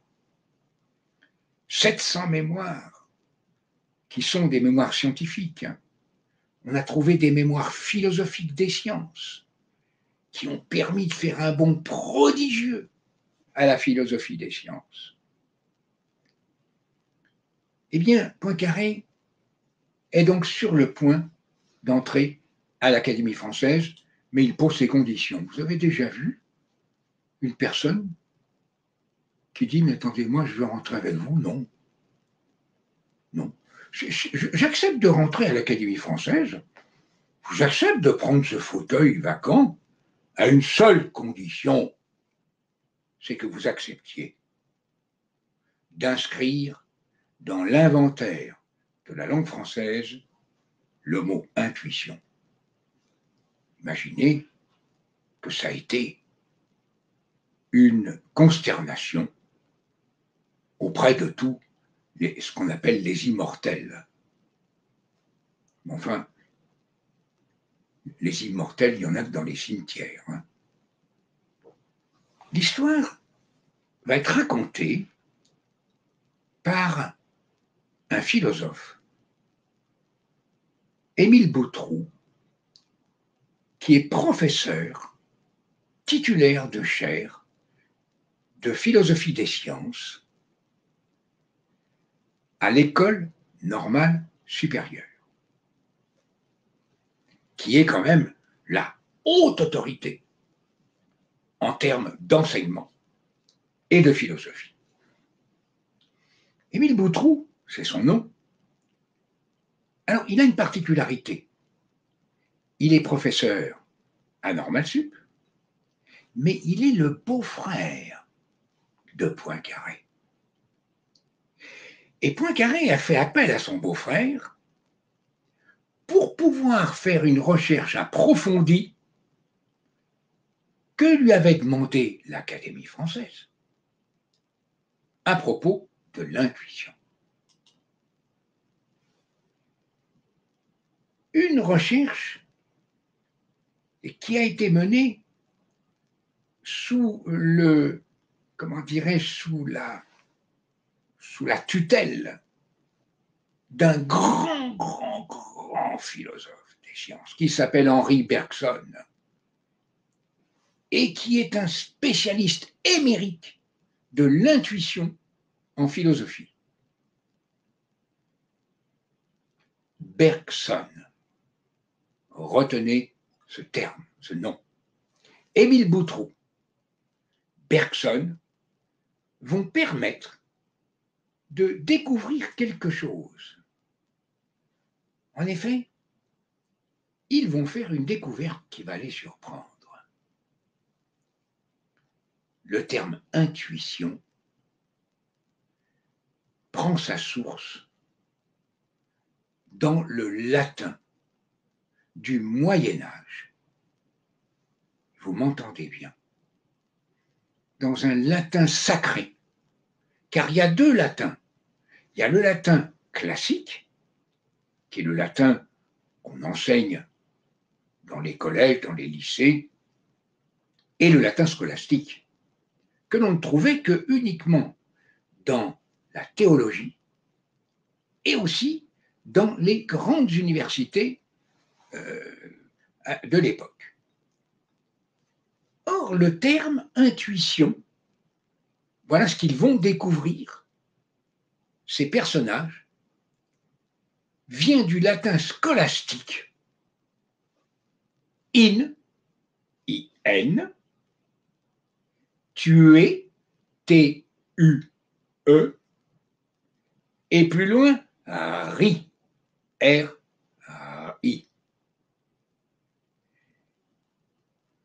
Le terme euh, riz doit vous dire quelque chose pour ceux qui fréquentent les églises. Car vous voyez très souvent accompagner la crucifixion in ri. Oula Qu'est-ce que ça veut dire? Alors ils se sont penchés sur ce latin scolastique. Alors, le latin scolastique est une forme de latin sacré qui est liée à une métaphysique métaphorique. Tiens, tiens, tiens, tiens. Et nous voilà dans une métaphore. Qu'est-ce que signifie intueri In signifie au dedans de soi. Tuer, c'est une pensée, une image. Et ri, c'est un phénomène contemplatif. Contempler une pensée ou une image comme dans un miroir. Est-ce que vous vous rendez compte? Voilà la première citation, la première formule latine qui va nous conduire à l'intuition. In signifie toujours au-dedans. Or, qu'est-ce que, comment pouvoir pénétrer le dedans? Le dedans est invisible. Inconscient. Au-dedans de la conscience. Tiens, tiens, tiens, tiens. Voilà encore une formule intéressante. in signifie regarder au-dedans de soi, car on voit au dehors de soi, mais on regarde à l'intérieur de soi. Et, là, Olivier, je mets juste une petite parenthèse qui n'était pas prévue. La méthode BMB, elle fonctionne sur ce principe. C'est-à-dire, elle n'est pas une vision, elle est un regard. Or, on, regarde l'invisible, on voit le visible. In, c'est ce que nous regardons à l'intérieur de nous. L'intériorité. Une pensée, une image, tu es. Et ri, c'est le miroir, c'est la contemplation. Il a fallu attendre le XVIIe siècle, nous dit Émile Boutroux, pour trouver une autre formule latine classique. Ah, voilà, nous voilà maintenant sur le latin classique. Alors, le latin classique, il est beaucoup plus concret. Vous avez vu que le latin scolastique, il est lié au rêve, il est lié à l'image, il est lié à l'inconscient, il est lié à ce qu'on ne voit pas, à ce qui reste au-dedans de nous. Alors que le latin classique va, transformer le latin scolastique en une autre formule, beaucoup plus simple, mais beaucoup plus proche du terme intuition. In, toujours, du dedans. Tui, une pensée qui vient du dedans, sio, vers le dehors. Une pensée qui vient de l'inconscient et qui surgit et qui passe dans la conscience. Waouh Olivier, c'est la première citation de Poincaré à propos d'une pensée qui se trouve, qui est au milieu d'une longue nuit, qui éclaire une longue nuit, pardon, mais, mais c'est cette pensée qui est tout. Je crois qu'on ne trouvera jamais une plus belle citation concernant l'intuition que celle de Poincaré dans ses dernières pensées, qui est un ouvrage qui a été publié après la mort du grand savant. Donc, c'est cette transformation du latin scolastique en latin classique qui va permettre en 1909 de devenir dans la langue française, alors ça je le tiens d'un académicien, qui est le, celui qui est à, la tête de, de l'historique des mots de la langue française. Il s'appelle Alain Ray. Intuition, intuition. Autrement dit, une pensée qui vient du dedans, de l'inconscient, qui jaillit dans la conscience, intuition. Dans la langue française, tous les termes qui se terminent en suffixe sion veut dire à l'extérieur. Action, résolution. Enfin, tous les termes qui sont tension, intuition. In, c'est toujours un phénomène psychique, nous dit Jung, qui vient du dedans.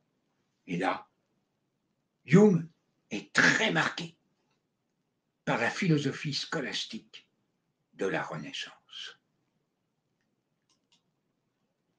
D'où la, la, citation bien connue de Poincaré, Boutroux et Bergson, que l'on va trouver dans le Littré, une connaissance. Au-delà de la connaissance, qui ne recourt jamais au raisonnement analytique et logique, mais qui provient toujours de l'inconscient. Voilà, Olivier, l'origine du mot inconscient. Euh, intuition, pardon. Ah bah, encore un lapsus linguistique. Oui, tout à l'heure au début, oui, c'est bien l'intuition. c'est ça. Bah, écoute, au moins, ça mérite d'être clair. Alors, on, a beaucoup parlé du coup d'un. Quand tu demandes à quoi sert oui. l'intuition, à, nous guider sur un chemin. Regarde l'anecdote que j'ai rapportée, je, pourrais en rapporter des centaines comme ça, hein. mais celle-là, elle est très, vivante, elle est très, elle est très marquante, euh, car euh, elle va indiquer à la personne qui a tout d'un coup cette pensée qui surgit, ce souvenir de dix ans en arrière, auquel elle pensait plus du tout, jamais. Je dirais même qu'elle l'avait refoulé, ce souvenir. Et c'est l'intuition peut aussi euh, nous révéler des choses qui sont enfouies, mais qui vont nous servir, car ce n'est pas une psychanalyse, l'intuition. Voilà. Est-ce que ça te va comme ah réponse? bah, C'est très clair en tout cas pour moi, mais euh, vous nous direz, euh, bon, on a l'occasion de répondre à toutes vos questions dans la deuxième partie. dans tous les cas, j'ai déjà noté beaucoup de vos questions, donc merci à vous. bah, du coup, tu as beaucoup parlé d'intuition. On a vu un petit peu la définition, on a vu un petit peu ce qu'on pouvait en faire, d'où elle venait. Maintenant, tu voulais aussi nous parler du coup de synchronicité euh, par rapport à l'intuition. Voilà, quel lien on peut faire entre ces deux et puis surtout, comment on pourrait définir cette notion de synchronicité. Est-ce qu'on sait vraiment ce que c'est la synchronicité? Est-ce qu'on peut la définir? Est-ce qu'on peut l'utiliser? Est-ce que c'est un processus? Est-ce que c'est quelque chose de plus euh, petit, plus virtuel comme l'intuition? Alors,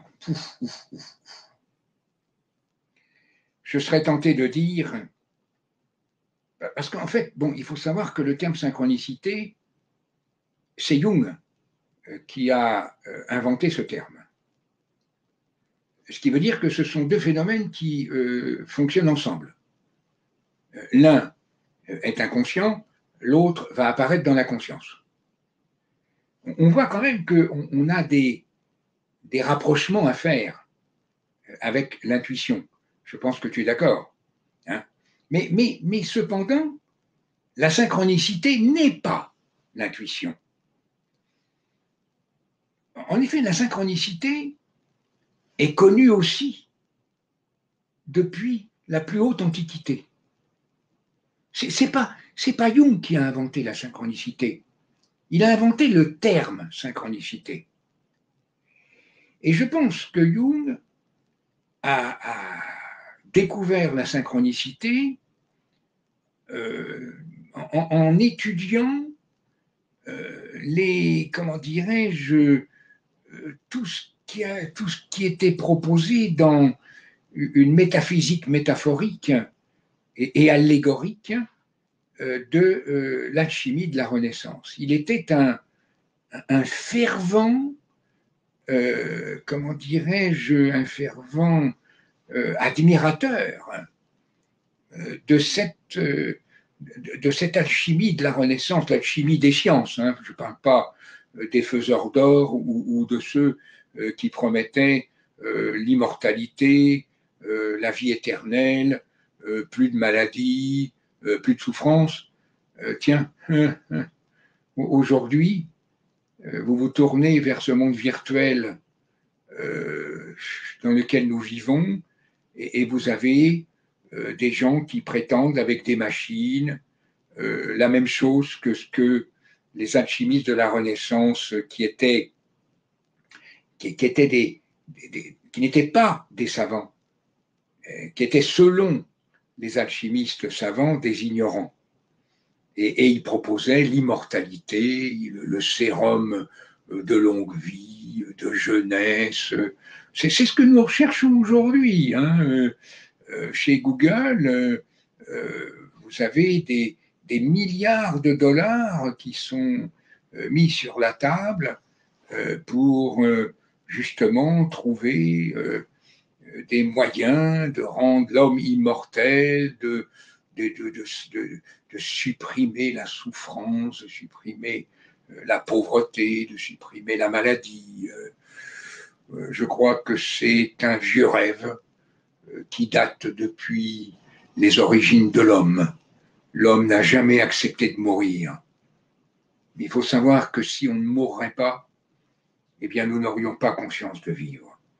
Autrement dit, si un jour un génie fou nous donnait les moyens de l'immortalité, comme certains le prétendent aujourd'hui, on nous dit que c'est pour dans 20 ou 30 ans, euh, mais nous ne serions pas conscients que nous sommes des êtres vivants.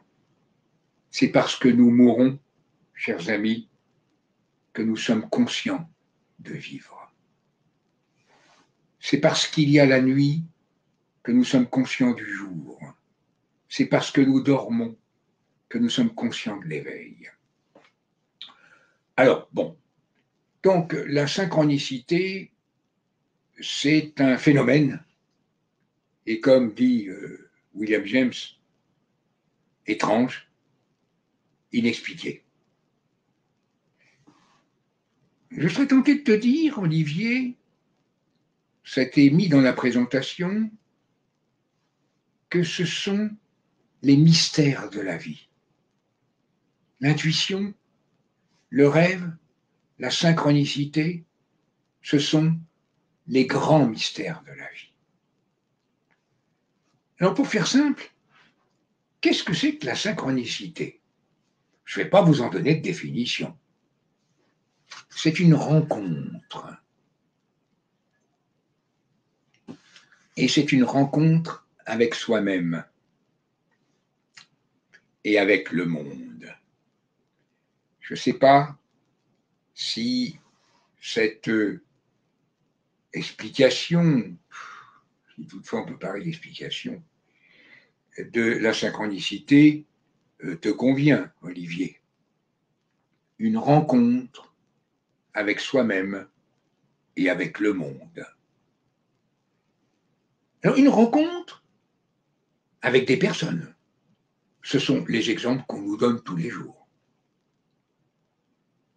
et des événements. Mais je pense que ce soir, il y en a beaucoup qui attendent de moi. Est-ce que l'on peut provoquer?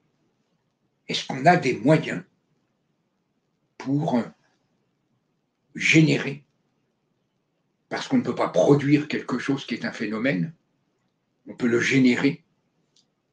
Mais est-ce que, est-ce que l'on peut, est-ce que l'on peut générer des synchronicités? Alors, on va voir que cette rencontre, elle a des conditions. En effet, pour qu'il y ait synchronicité, il faut qu'il y ait eu un événement antérieur. Attendez, les choses, il euh, n'y a, jamais d'effet sans cause. Or, quand vous, euh, quand écoutez euh, des conférences, notamment de physiciens quantiques, qui vous parlent de synchronicité, on vous dit ce sont des effets qui n'ont pas de cause. Mais moi j'ai toujours appris, et, je le crois euh, sincèrement, et, je pense qu'il faudrait me prouver le contraire, qu'il n'y a pas d'effet sans cause. Comment voulez-vous qu'il y ait un effet s'il n'y a pas de cause? Alors, on va laisser donc tous ceux qui nous disent qu'il n'y a pas de cause puisqu'à ce moment-là, la messe est dite. Nous, nous allons non pas chercher la cause, mais en chercher la source. Autrement dit, l'origine. Alors d'abord, on va se rendre compte que, alors bien sûr, je vais vous rassurer tout de suite. C'est pour le meilleur. Bien sûr, c'est ce que vous attendez. Vous attendez la belle rencontre. Vous êtes dans une solitude affective, ah bien, donc dans une situation qui occasionne un changement, une transformation, une rupture. Vous êtes dans une solitude affective et naturellement, vous avez envie de rencontrer la merveilleuse personne que vous allez pouvoir aimer, où vous allez vivre une vie de bonheur, de plénitude, d'épanouissement, d'abondance. Tout ceci, c'est un rêve stérile. Alors pourquoi?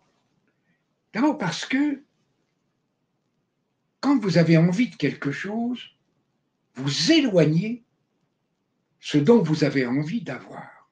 Vous allez me dire, mais de qui vous tenez ça? Oh, ça va être tout simple. Je suis malheureux. J'ai envie d'être heureux. Je suis démuni financièrement. J'ai envie d'être riche. Je suis malade. J'ai envie de guérir. Quoi de plus naturel? Seulement, ce qu'on ne sait pas, c'est que quand on a envie de quelque chose, c'est qu'il y a un manque. Et on ne peut avoir envie de quelque chose que parce qu'on est conscient de manquer de quelque chose. Et si nous sommes conscients de manquer de quelque chose, nous n'allons pas du tout nous rendre compte que nous sommes en train de nous concentrer sur ce qui nous manque, sur ce qu'on n'a pas.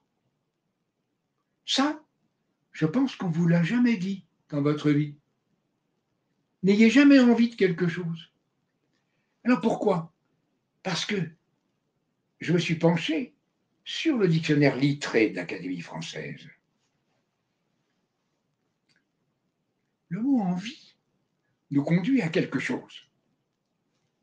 C'est que si nous avons envie d'être heureux, c'est que nous sommes conscients que nous ne le sommes pas. Et nous envions ceux qui le sont. Et plus nous envions ceux qui le sont, plus nous nous éloignons des possibilités de l'être. Vous pouvez toujours avoir toutes les pensées positives du monde. D'abord, il faut savoir que la pensée n'est pas consciente.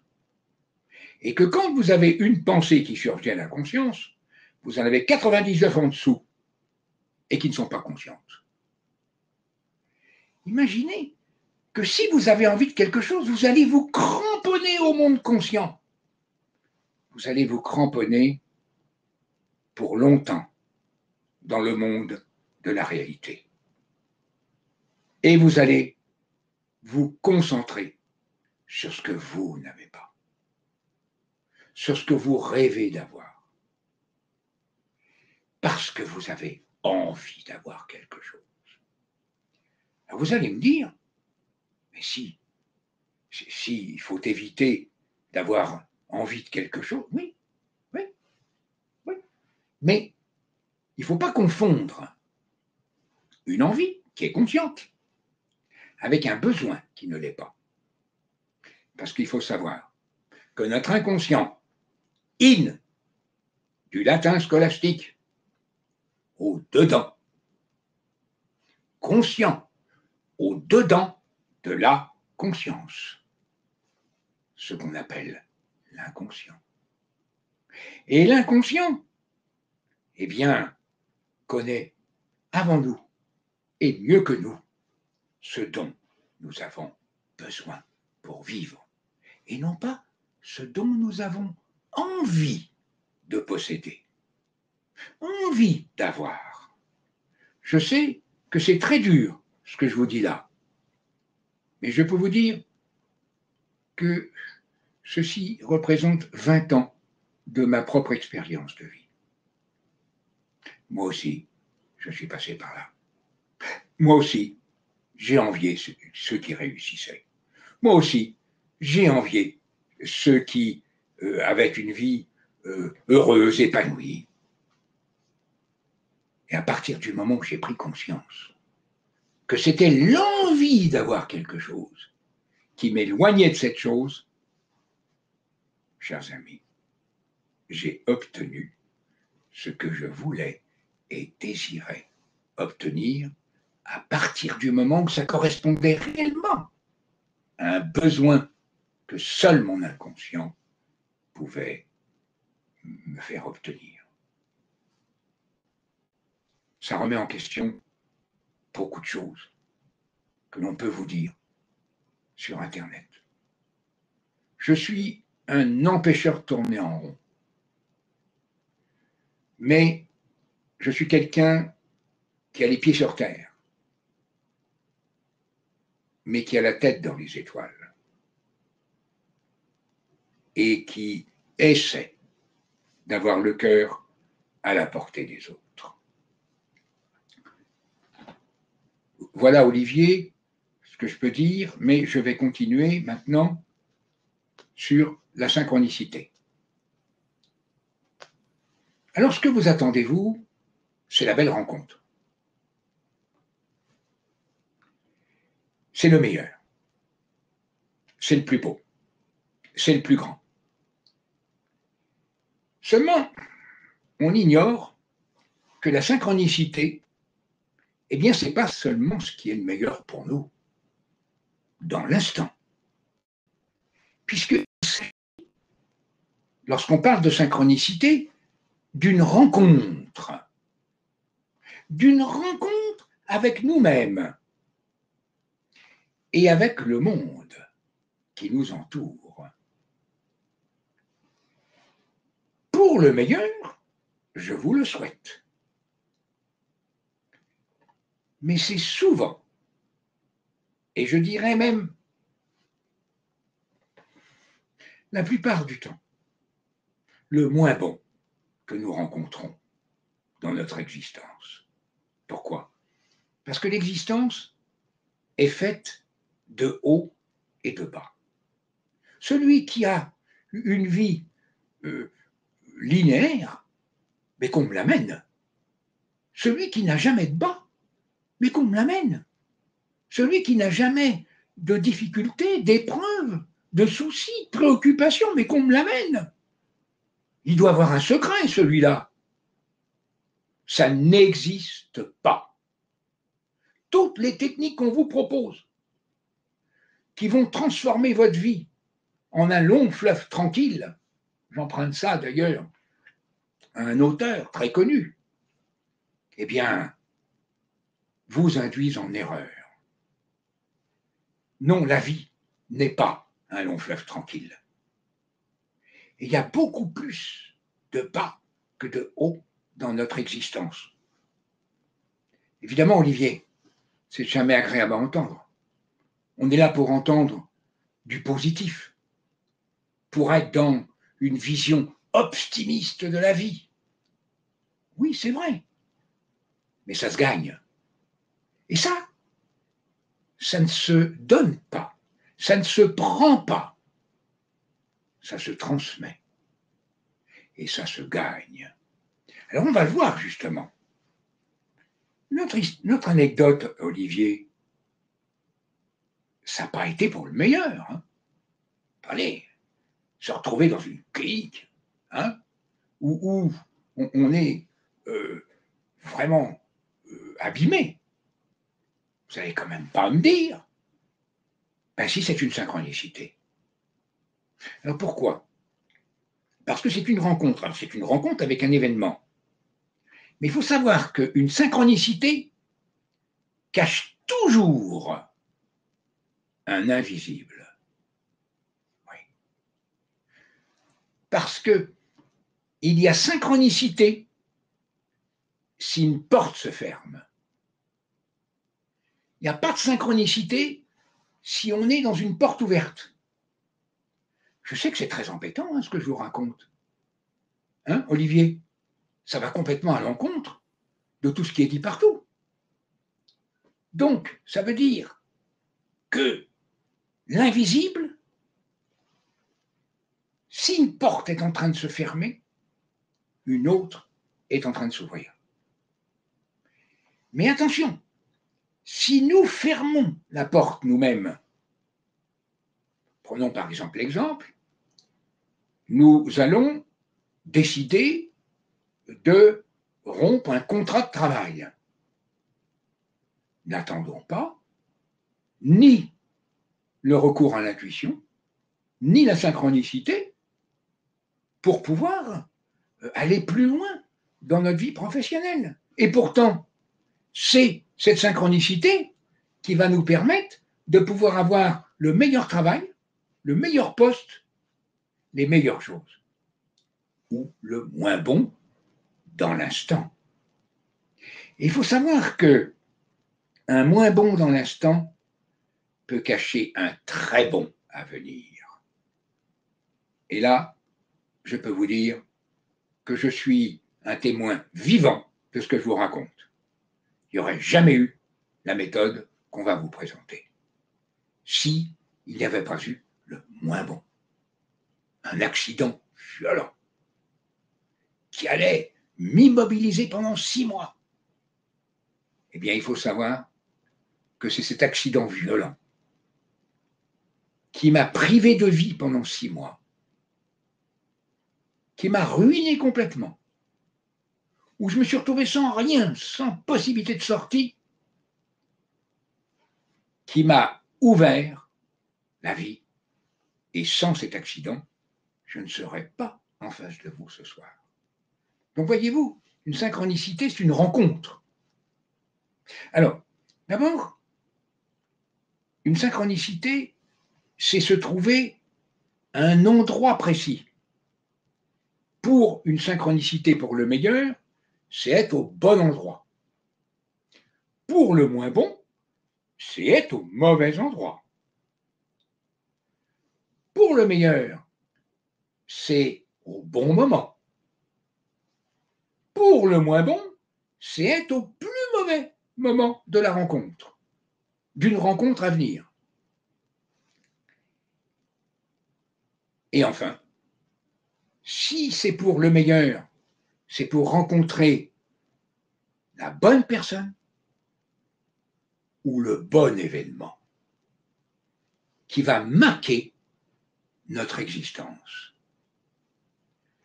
Mais le moins bon, eh bien, c'est on va rencontrer une mauvaise personne, un chauffard par exemple, qui va vous rentrer dedans, ou alors c'est un mauvais événement.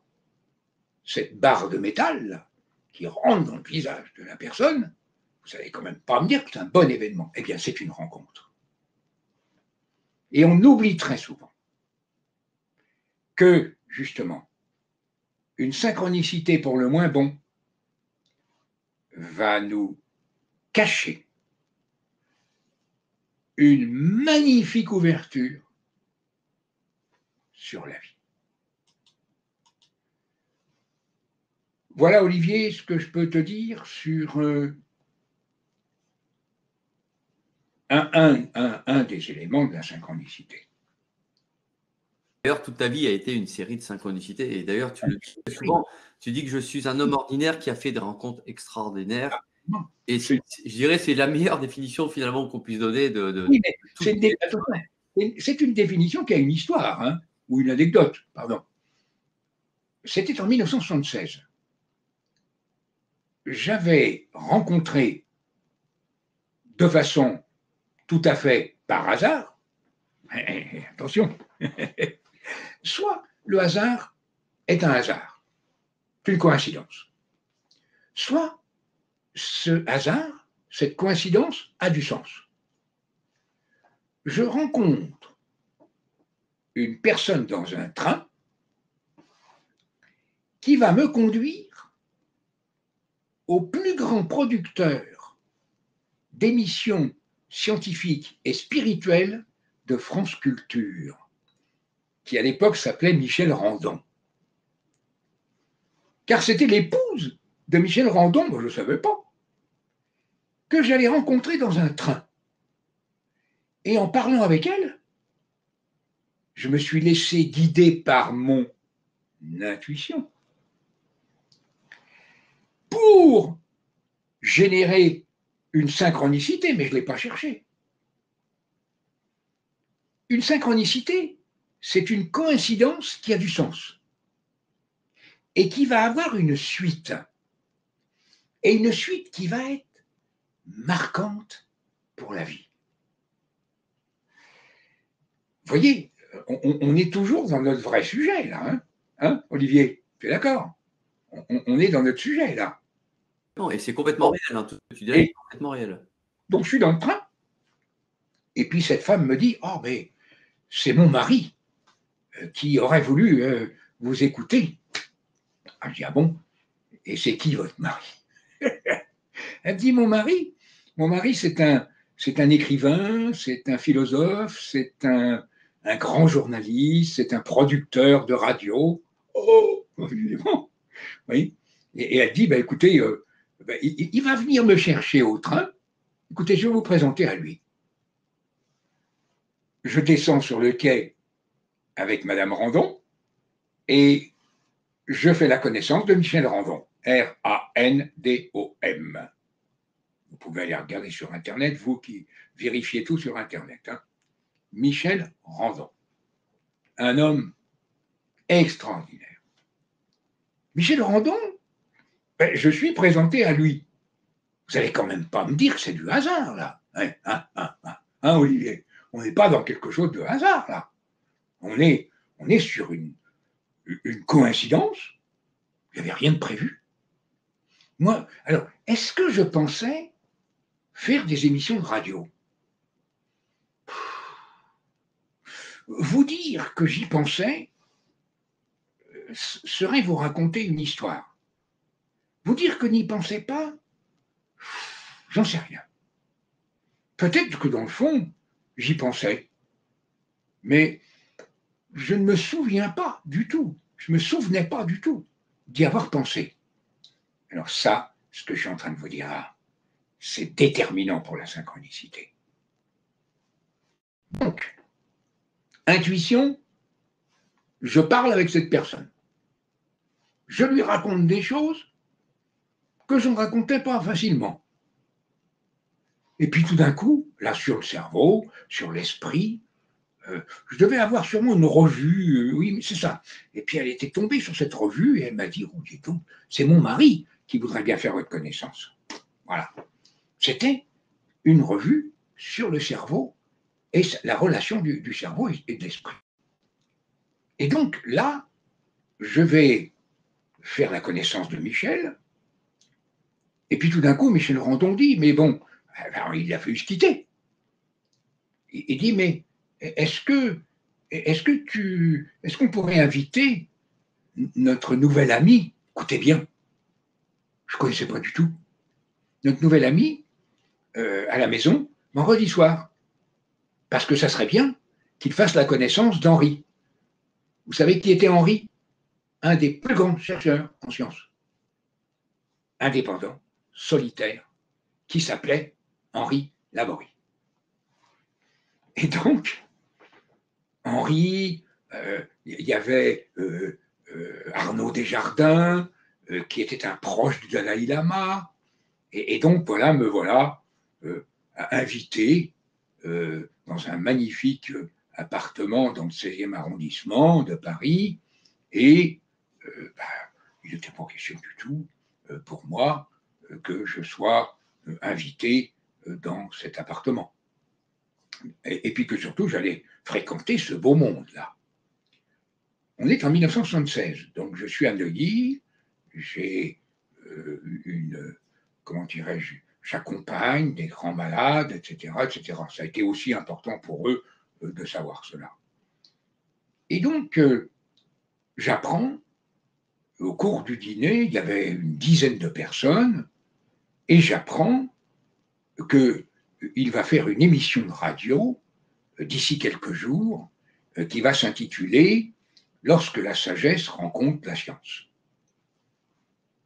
Et puis, bah, la sagesse qui rencontre la science, c'est l'alchimie.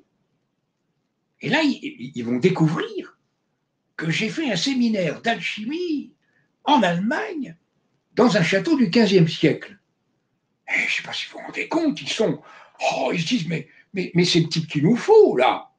Un scientifique qui peut parler de l'alchimie lorsque la sagesse rencontre la science. C'était en effet sur l'alchimie des sciences. Et donc, je vais me retrouver dans cette émission.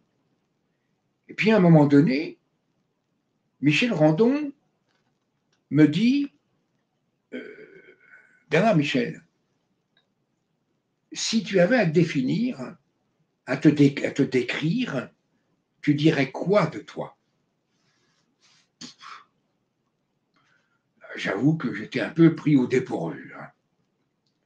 Et que c'est une question que je fuyais. C'est vraiment pas le type de question à laquelle j'aimais répondre. Hein. Qu'est-ce que j'allais dire? Que j'étais un scientifique solitaire qui n'avait aucune reconnaissance officielle. J'ai dit, écoutez, moi, je, vous dis, je me suis fié à mon intuition.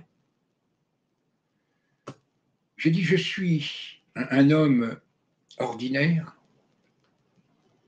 mais qui a fait des rencontres extraordinaires. Ça a été un applaudissement dans le studio. Une dizaine de personnes, des fameux qui étaient au dîner, là. Et puis à un moment donné, il y a Henri Laborie qui a dit Quelle merveilleuse description et qui n'a d'humilité que celle de Poincaré. Parce qu'en effet, j'avais parlé ce jour-là aussi de Poincaré. Moi, Poincaré, pour moi, c'est un maître à penser. C'est pas un maître, c'est un maître à penser. Et, là-dessus, Henri Laborie m'a dit Bernard Michel, au nom de la science, je te baptise chercheur indépendant en neurosciences en deux mots. Neuro et sciences au singulier. Parce qu'il y avait les neurosciences, qui étaient les sciences, qui étaient les disciplines scientifiques, qui étudiaient le fonctionnement du cerveau. Mais qui laissaient de côté tout ce qui était trop immatériel et tout ce qui était, tout ce qui relevait euh, de l'esprit.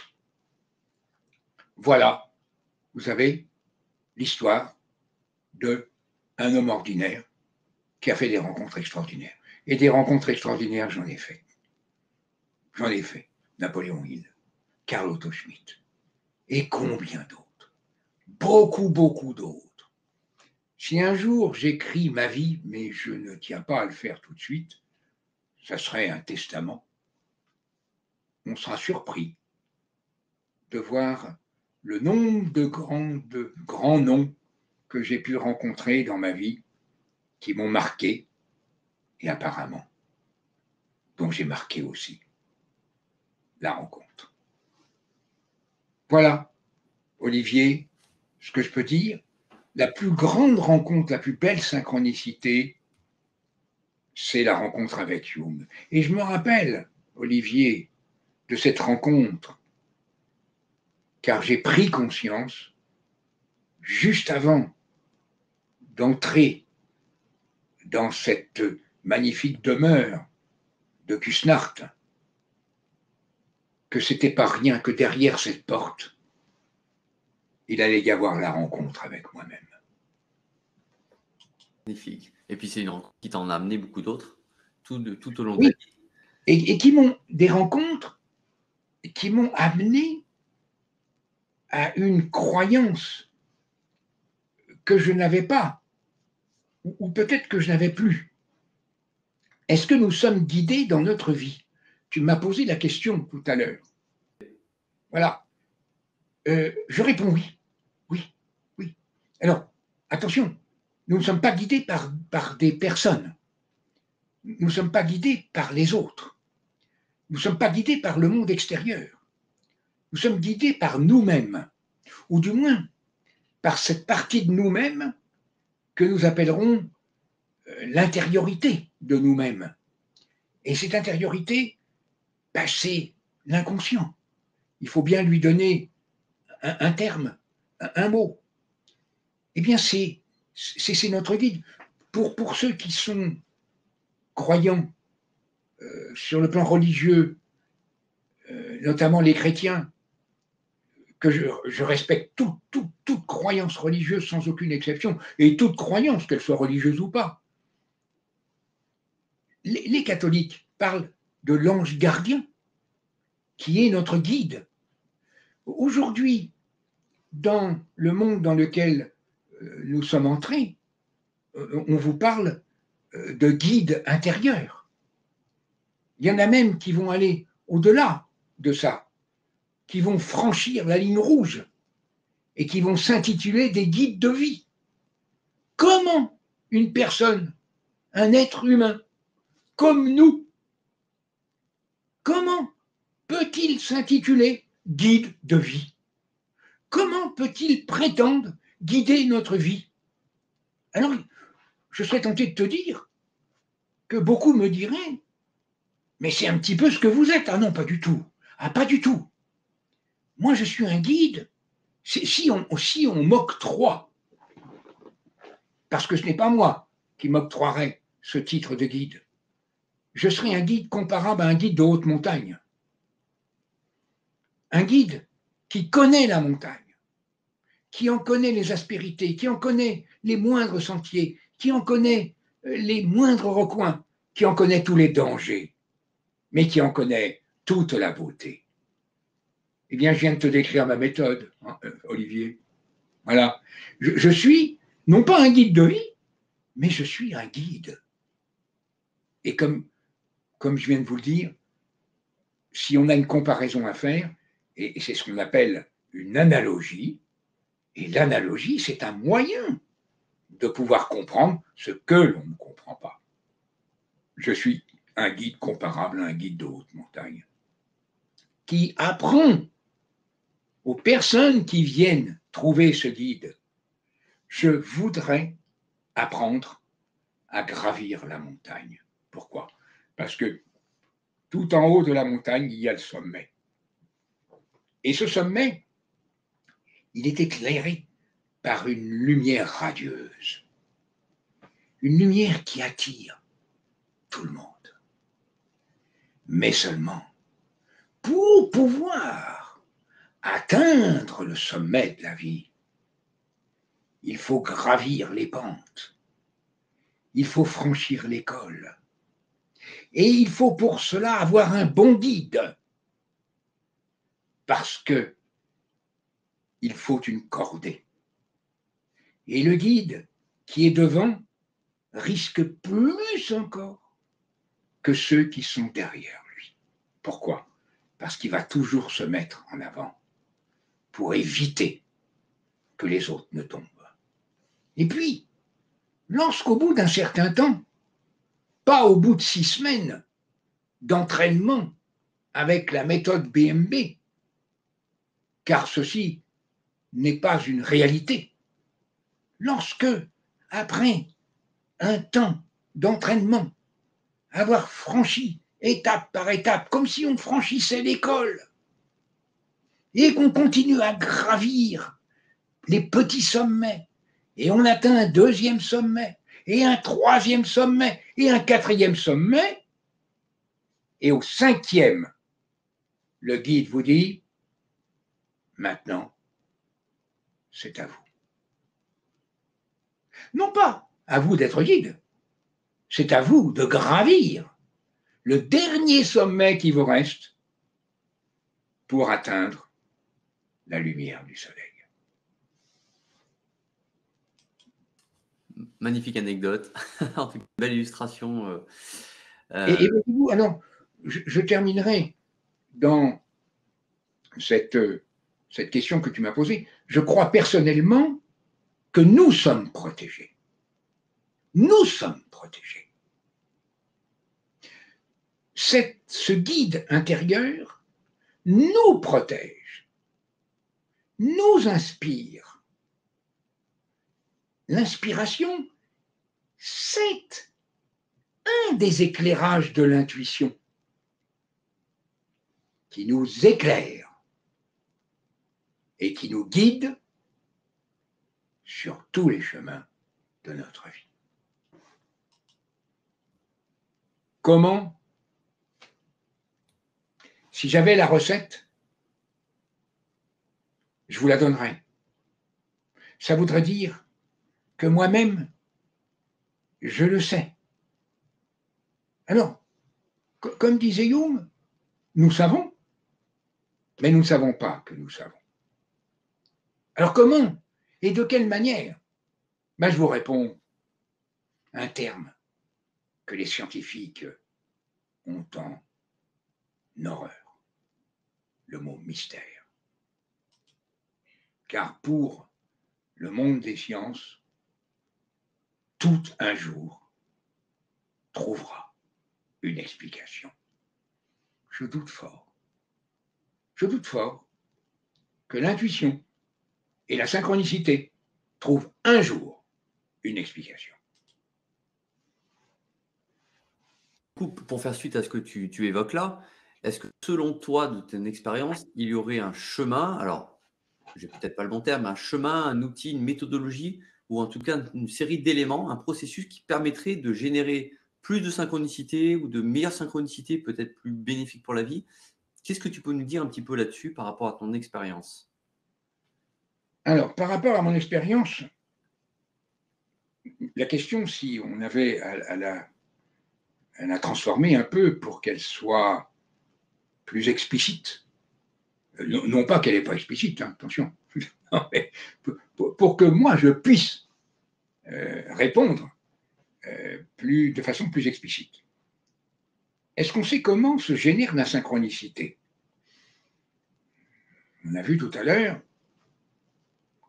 bien, bien intelligent, celui qui pourra dire comment se génère la synchronicité, il sera euh, d'une essence supérieure à nous.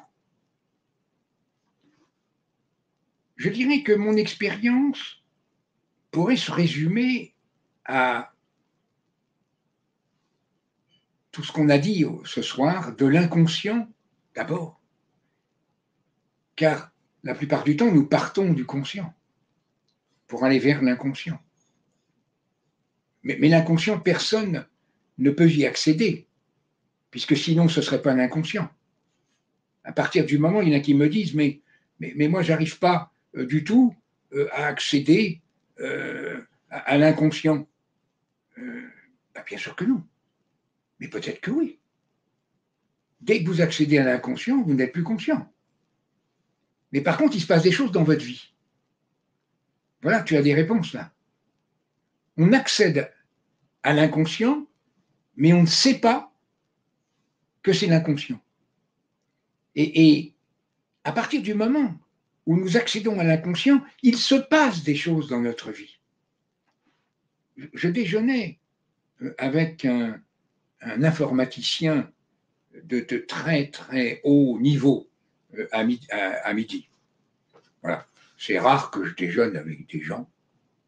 Mais là, je déjeunais avec cette personne. Et elle m'a dit, mais vous savez, je pratique votre méthode depuis euh, plus de un an. Et je dois vous dire que j'ai compris ce que vous aviez euh, proposé comme métaphore à propos de la haute montagne. En effet, chaque étape est un col. Et j'ai franchi chaque col. Et je me suis laissé guider dans cette montée qui est en fait une descente. Tiens, tiens. En effet, quand on, accède à l'intériorité, l'intériorité, elle est au fond de nous ou elle est tout en haut de nous? Ça, Olivier, c'est un grand dilemme. Et c'est un grand dilemme qui nous ramène à l'alchimie. Les alchimistes, pour répondre à ce dilemme, avaient une formule, une formule métaphorique. Ce qui est en haut est comme ce qui est en bas. Et ce qui est en bas est comme ce qui est en haut, afin d'accomplir le seul miracle de la vie. Qu'est-ce qui est conscient? C'est le haut ou c'est le bas? Qu'est-ce qui est inconscient? C'est le bas ou c'est le haut? Je laisse à chacun le choix d'obtenir sa réponse. cette personne m'a dit, quand je suis arrivé à la dernière étape, je me suis laissé, il ne se passait plus rien. Je pratiquais chaque jour, de façon régulière. J'avais appris par vous à descendre de plus en plus rapidement, puisque j'avais suivi deux présentiels avec vous, et notamment un sur la libération de l'intuition. Et je dois dire que je n'avais pas compris. Et quand je suis rentré chez moi, j'ai laissé faire.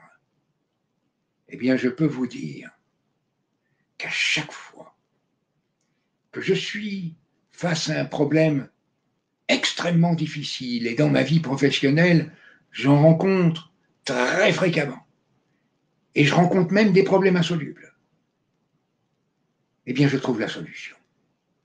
Alors pourquoi? Parce que Poincaré nous dit, avec la logique, nous prouvons. Avec l'intuition, nous trouvons. Donc mon expérience me montre que nous passons de l'inconscient au conscient en passant par le cerveau où se trouve la dimension subconsciente. Le subconscient, ce n'est pas une entité magique. Quand on écoute, euh, quand on lit certains livres développement personnel, quand on écoute des conférenciers de grands talents, on a l'impression que le subconscient, c'est une entité magique. Mais pas du tout. C'est une fonction du cerveau c'est une fonction psychique du cerveau qui permet de passer de la vie consciente à la vie inconsciente. Ça, tu me demandes justement mon expérience de vie, eh bien, elle se résume dans ce que je viens de te dire là. Ce que je peux dire après 40 ans d'expérience, d'avoir buté sur des murs, d'avoir, euh, comment dirais-je, peiné, d'avoir vécu des épreuves difficiles, douloureuses, d'avoir vécu des ruptures, d'avoir connu l'humiliation. Plus on cherche à comprendre ce phénomène de synchronicité, plus le mystère semble s'épaissir. Alors, ce qui veut dire que ce qui signifie que la synchronicité échappe à tout ce qui est logique. Rappelez-vous, et là on va voir un rapport avec l'intuition. Poincaré nous dit, avec la logique, nous prouvons. Nous sommes dans le monde conscient, dans le mode du travail. Avec l'intuition, nous trouvons. Donc, ce qui signifie que la synchronicité va échapper à tout ce qui est logique, donc à tout ce qui est conscient, tout ce qui est intellectuel. C'est là le problème. C'est que toutes les personnes qui vont lier l'intuition à la synchronicité, je je, l'ai vu sur des films sur YouTube, je l'ai vu, je l'ai lu dans des livres, qu'en effet, on lit l'intuition et la synchronicité comme si c'était la même chose. Mais pas du tout. Tous ces phénomènes-là, ce sont deux phénomènes psychiques. Un qui précède l'autre et qui va le suivre. Ah, là, je suis en train de vous donner une sacrée nouvelle. Autrement dit, s'il n'y avait pas d'intuition, il n'y aurait pas de synchronicité. Mais s'il n'y avait pas d'intuition qui a suivi la synchronicité, la synchronicité serait une simple coïncidence.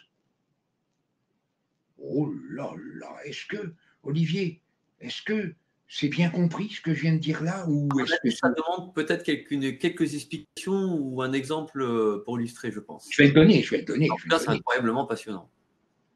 Bon, ce qui signifie donc que ce sont des phénomènes psychiques. Là, on l'a compris ça maintenant. Hein Autrement dit, attention, un phénomène psychique, il est, euh, n'est pas, explicite. Et donc, comment voulez-vous trouver une définition si on n'est pas dans l'explicite? Si on est dans l'implicite, on, va être en dehors de la logique, en dehors de tout ce qui est matériel et concret. Or, une définition, par essence et par définition, c'est un processus qui est concret, qui est construit, qui est bâti. C'est une véritable maison. Alors que l'intuition et la synchronicité échappent à toute définition. Donc ça échappe à tout ce qui est logique. Seulement, attention, quand on se rapporte à ce que disait Poincaré dans son discours à l'Académie, avec la logique, nous prouvons. Regardez, les académiciens sont des personnes qui sont dans une très grande logique. Avec l'intuition, nous trouvons, et trouver, c'est inventer.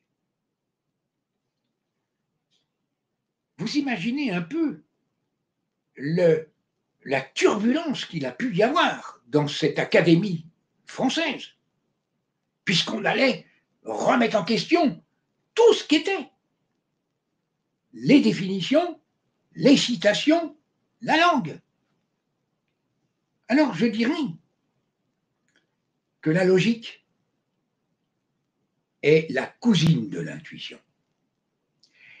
Et que l'intuition est la sœur jumelle de la synchronicité.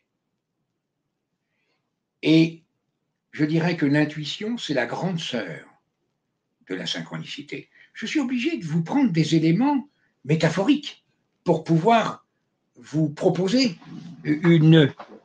un côté explicite et d'un phénomène qui n'est pas explicite du tout. C'est là le problème, Olivier. Si c'était explicite, c'est très simple, c'est ce que vous proposent d'ailleurs les formateurs euh, euh, dits d'intuition, de, les formations dites d'intuition, de développement d'intuition, d'accroissement de l'intuition. Non, c'est totalement faux on ne peut absolument pas du tout, du tout avoir un phénomène, un, processus intellectuel, pardon, pour expliciter ce phénomène. Alors, je dirais, je vais donner un exemple. Pour qu'il y ait intuition, il faut qu'une porte se ferme. Parce que, comme je vous l'ai dit, si, la porte n'est pas fermée, il n'y a pas d'intuition. Or, une porte fermée, on a compris ce que ça veut dire. Hein. Ça peut être une rupture, c'est un changement, c'est une transformation. C'est un changement d'orientation, c'est un changement de voie, c'est un changement de chemin, c'est un changement de conditions de vie. Et je serais tenté de dire, une porte est en train de se fermer, une autre est en train de s'ouvrir. Et cette porte qui va s'ouvrir, elle s'ouvre sur l'invisible. Attendez, c'est pas évident hein, à suivre ce que je suis en train de raconter là. Hein. Mais, mais, ce sont des phénomènes qui ne sont pas du tout évidents.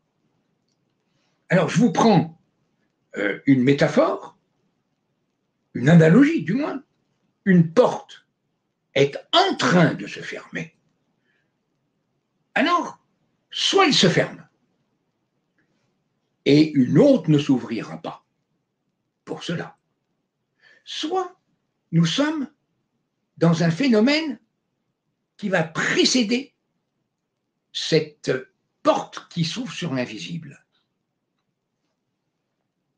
C'est ce qui va nous conduire à la porte qui est encore invisible. Et la porte qui est invisible s'appelle la synchronicité. Attendez, je vous explique ça à ma manière. Hein. Je ne sais pas si je me fais bien comprendre. La porte, c'est le monde de la réalité.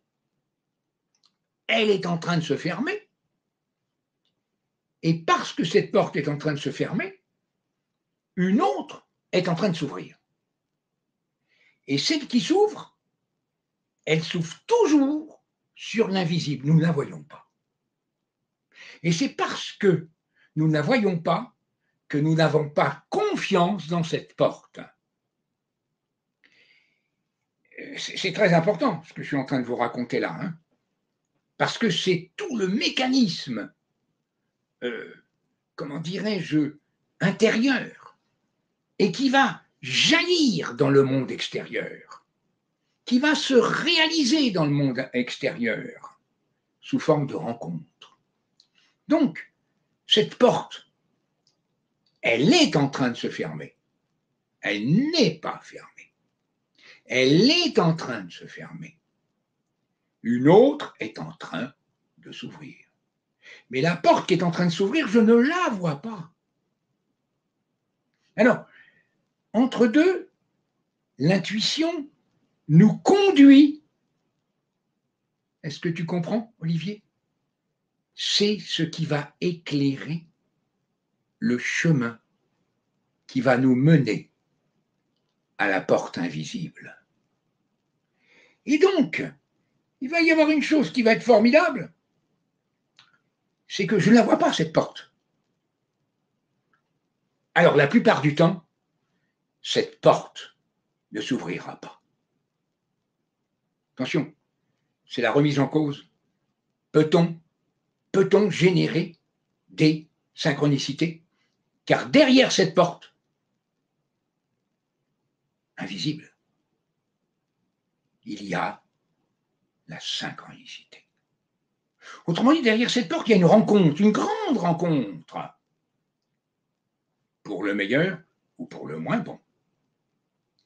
Mais pour qu'il y ait le meilleur, il faut qu'il y ait un état d'esprit juste envers la vie. Autrement dit, c'est cet état d'esprit que nous devons acquérir un état d'esprit juste parce que nous avons confiance. Nous avons confiance. La porte est en train de se fermer, mais j'ai confiance parce que je sais qu'il y a une porte qui est en train de s'ouvrir. Seulement, je ne la vois pas. Et je peux vous dire que 4, 9 personnes sur 10 vont capituler entre les deux, entre les deux portes. Voilà pourquoi il y a si peu de synchronicité. Alors, vous allez comprendre, il faut qu'il y ait la confiance, il faut qu'il y ait la patience, la patience, et il faut qu'il y ait la foi. Alors, je ne parle pas de la foi religieuse, je, parle de croire que véritablement derrière cette porte, il y a la solution à mes problèmes. Et à partir du moment où je suis convaincu de ce nouvel état d'esprit qui me permet la confiance, la confiance en moi, la confiance en la vie, la confiance en mon avenir, la confiance en ce que j'ai besoin de réaliser.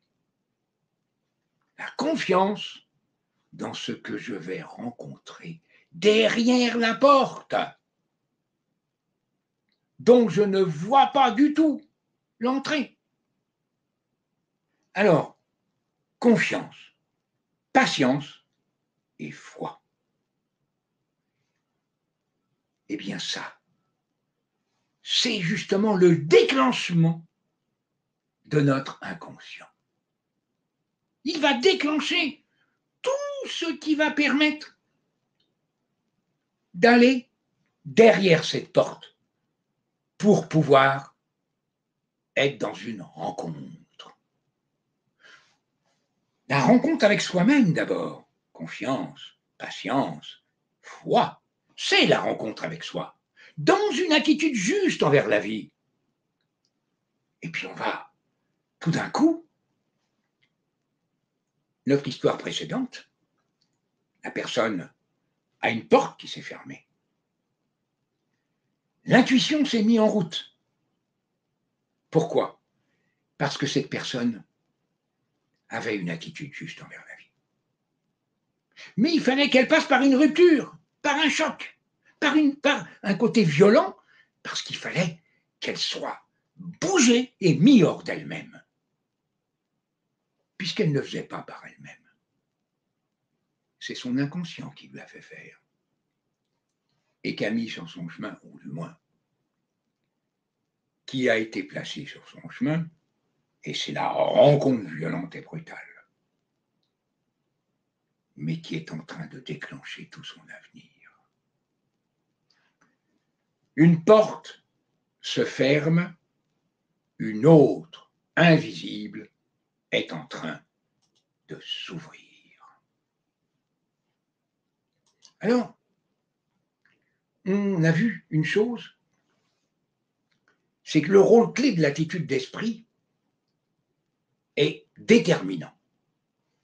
Ainsi que notre ami, mon ami, mais qui est notre ami, pour tous ceux qui lisent son petit livre, Karl Otto Schmidt, qui est un merveilleux homme, c'est il disait toujours, la vie montre à l'homme le visage que l'homme montre à la vie. Souvenez-vous cette citation. La vie montre à l'homme le visage que l'homme montre à la vie. Souriez à la vie, dit Karl Otto Schmidt, la vie vous sourira. Fermez-vous à la vie. Ayez un visage crispé, fermé, serrez les poings. Et la vie va vous le rendre. Le rôle clé de l'attitude d'esprit, pourquoi? Pour rendre conscient ce qui vient de l'inconscient. Et ce qui vient de l'inconscient qui va se trouver derrière la porte, la deuxième porte. C'est ce qui va générer la synchronicité. Autrement dit, en premier, il y a l'intuition qui surgit, qui jaillit, un souvenir, une image, une pensée qui nous arrive, qui nous rappelle quelque chose, qui nous rappelle quelque chose. Et puis d'un seul coup, on ne sait pas pourquoi. C'est totalement inattendu. C'est jamais provoqué. Et puis voilà que l'événement surgit. C'est la rencontre avec une personne, avec un événement. Je ne peux pas vous en dire plus, parce que sinon, ça voudrait dire que je détiens les clés de l'intuition et de la synchronicité. C'est à vous de trouver la bonne clé et le bon chemin qui mène à votre vie. Je suis en train d'écrire un, je ne sais pas si Anne se trouve ce soir parmi vous. Anne, c'est un écrivain, une écrivaine, il faut dire ça comme ça maintenant. C'est une écrivaine de grand talent et qui a écrit un, très beau livre, mais vraiment un très beau livre, qui sera publié d'ici le mois de mars, nous pensons. Ça va dépendre uniquement de moi. En effet, l'éditeur et l'auteur m'ont demandé d'écrire euh, en, tant que scientifique de euh, ben, et le livre va s'intituler La porte de l'intuition, s'intitule d'ailleurs La porte de l'intuition. Ce que je disais d'ailleurs euh, à cette personne très récemment, l'auteur, vous savez, quand on est prêt, lorsqu'on est placé au bon endroit, au bon moment, mais surtout quand on est prêt, quand on est prêt à recevoir, quand on est prêt à rencontrer. Mais nous ne savons pas que nous sommes prêts, car c'est Jung qui va nous donner la réponse, là, ce soir. Nous savons, mais nous ne savons pas. Donc vous savez si vous êtes prêt, mais vous ne savez pas que vous le savez. Donc quand on est prêt, que l'on est placé au bon endroit, mais est-ce qu'on sait qu'on est placé au bon endroit? Non, pas du tout. Au bon moment, alors on rencontre la bonne personne ou un événement, un grand événement, eh bien, marquant. Certaines personnes m'ont dit, mais un événement marquant, ça a été d'ailleurs l'auteur de ce livre, La porte de l'intuition, c'est la méthode. C'est la méthode, c'est la dynamique mentale et cérébrale interactive. Elle m'a dit, c'est ça pour moi qui a été le révélateur. C'est ce qui m'a conduit à vous. Et mon intuition m'a guidé et m'a dit, c'est la bonne personne. Ah ben voilà, c'est la bonne personne. Voyez-vous, il y a un avant synchronicité et il y a un après le phénomène de, synchronicité. Quand on est prêt, placé au bon endroit, au bon moment, on ne sait pas si on est prêt. Alors, on est prêt. Placé au bon endroit, est-ce qu'on sait qu'on est au bon endroit? Est-ce qu'on sait que c'est le bon moment quand on rencontre quelqu'un? Et on va rencontrer à ce moment-là la personne que l'on doit rencontrer une personne qui va vous apporter quelque chose, une réponse de vie, ou un événement heureux, un événement marquant. Ça peut être un conférencier, ça peut être un webinaire comme ce soir. C'est ce phénomène psychique, Olivier, que l'on nomme synchronicité. nous avons la définition enfin, et puis on a du coup fait le lien avec les deux notions intuition et synchronicité ce soir. Alors je vois qu'on a beaucoup beaucoup de questions. Euh, je vous rassure, on ne vous a pas oublié. J'en ai noté déjà une bonne quinzaine. Il y a une chose qui est importante euh, avant de. Il répondra bien entendu après. Mais... Oui, oui, mais. Mais tu as encore, quelques éléments à nous partager, je crois. Pour pouvoir générer et approfondir vos questions, euh, je serais tenté de mettre une conclusion à ma, à, ma conférence. Euh, peut-on générer plus de synchronicité? On a vu, peut-on euh, accroître, peut-on développer l'intuition La réponse a été, je ne le crois pas. Peut-on générer plus de synchronicité dans notre vie? Pour ma part, je vous dis ce soir, je ne le pense pas. Pourquoi? Parce que je ne vois aucune méthode, aucune technique qui permettrait de le faire. En effet, pourquoi? Mais parce qu'on n'influence pas son inconscient pour obtenir ce que l'on a envie d'obtenir, mais uniquement selon nos besoins. Seul notre inconscient sait de quoi nous avons besoin. Mais l'inconscient est, selon la formule des alchimistes, rappelez-vous, notre intériorité. Autrement dit, une partie de nous-mêmes. Et que l'intuition va pouvoir entrer en association avec la synchronicité. Pourquoi? Parce que comme le rêve, l'intuition sont les messagers de l'inconscient. L'intuition nous éclaire et nous guide pour ouvrir les voies qui vont faire surgir la rencontre, autrement dit, la synchronicité dans notre vie. Voilà, Olivier. Je ne sais pas si cela convient pour, être le mot de la fin. Mais je dois dire une chose. Et rappelez-vous toujours de cela. Comme en musique, une conférence n'a pas de fin. Pourquoi? Parce que toute fin d'une chose est toujours le début d'une autre chose. Je vous remercie. C'est nous qui te remercions énormément, euh, notre cher Bernard, pour cette très très belle euh, présentation, surtout ce partage de voilà d'expériences personnelles hein, qui sont les tiennes, qui sont ton histoire, de toutes tes expériences euh, professionnelles, toutes tes, connaissances.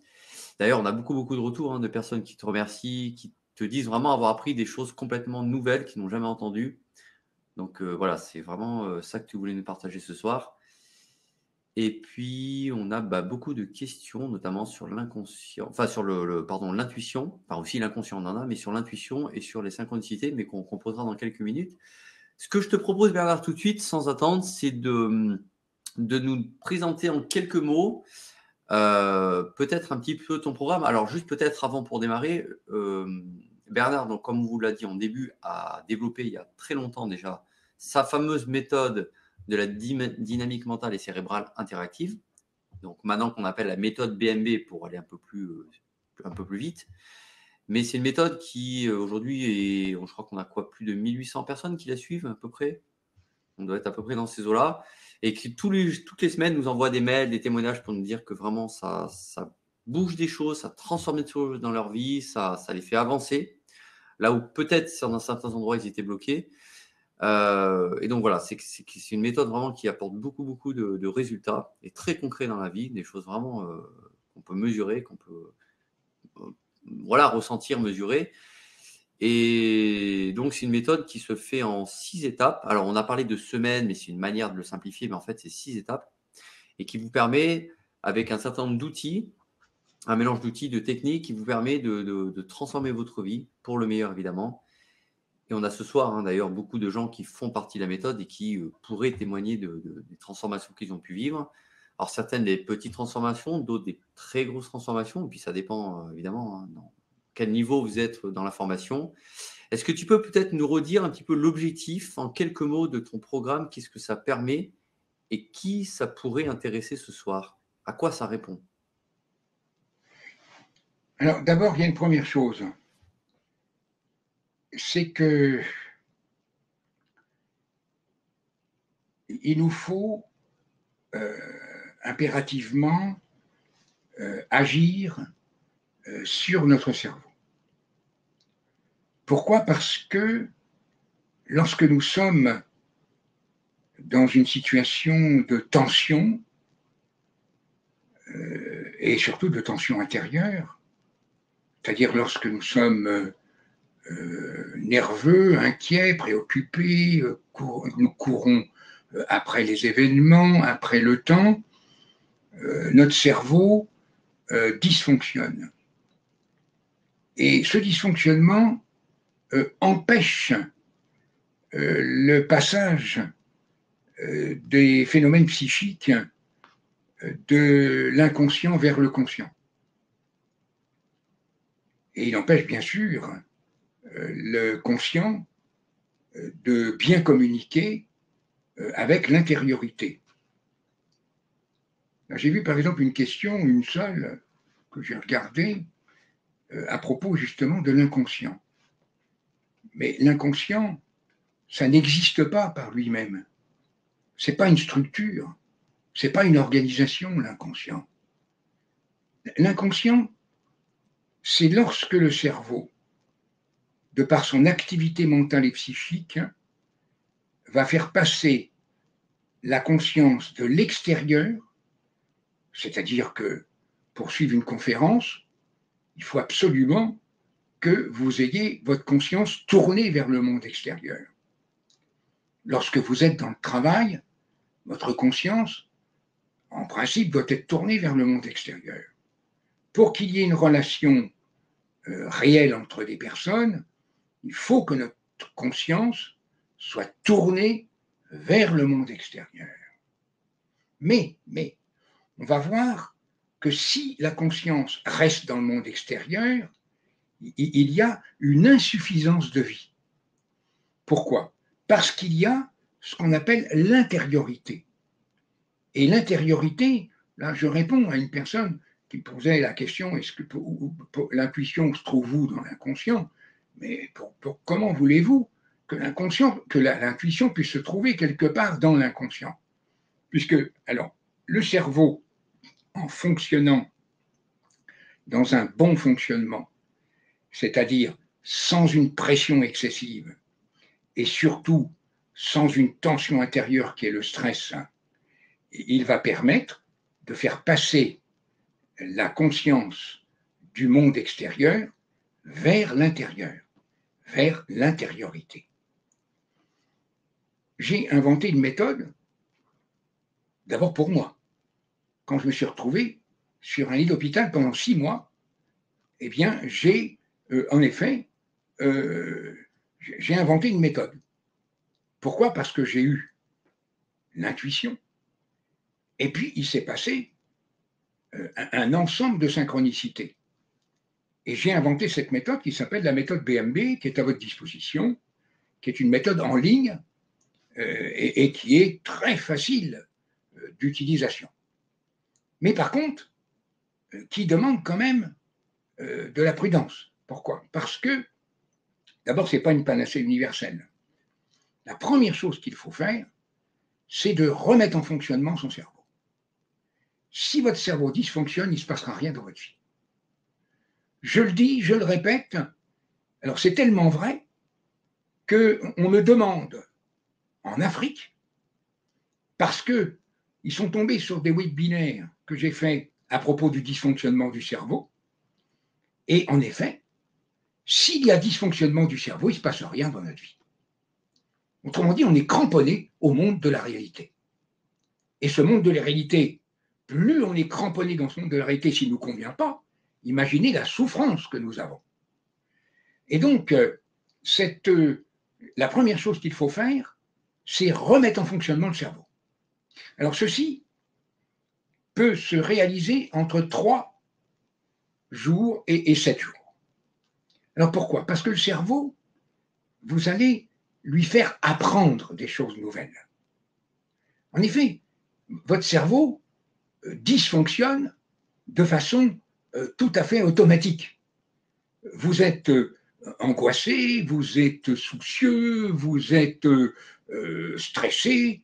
Ne vous inquiétez pas, le cerveau, lui, il répond dans une, rythmicité euh, qui va être en dysfonctionnement. D'ailleurs, vous allez le sentir dans votre respiration.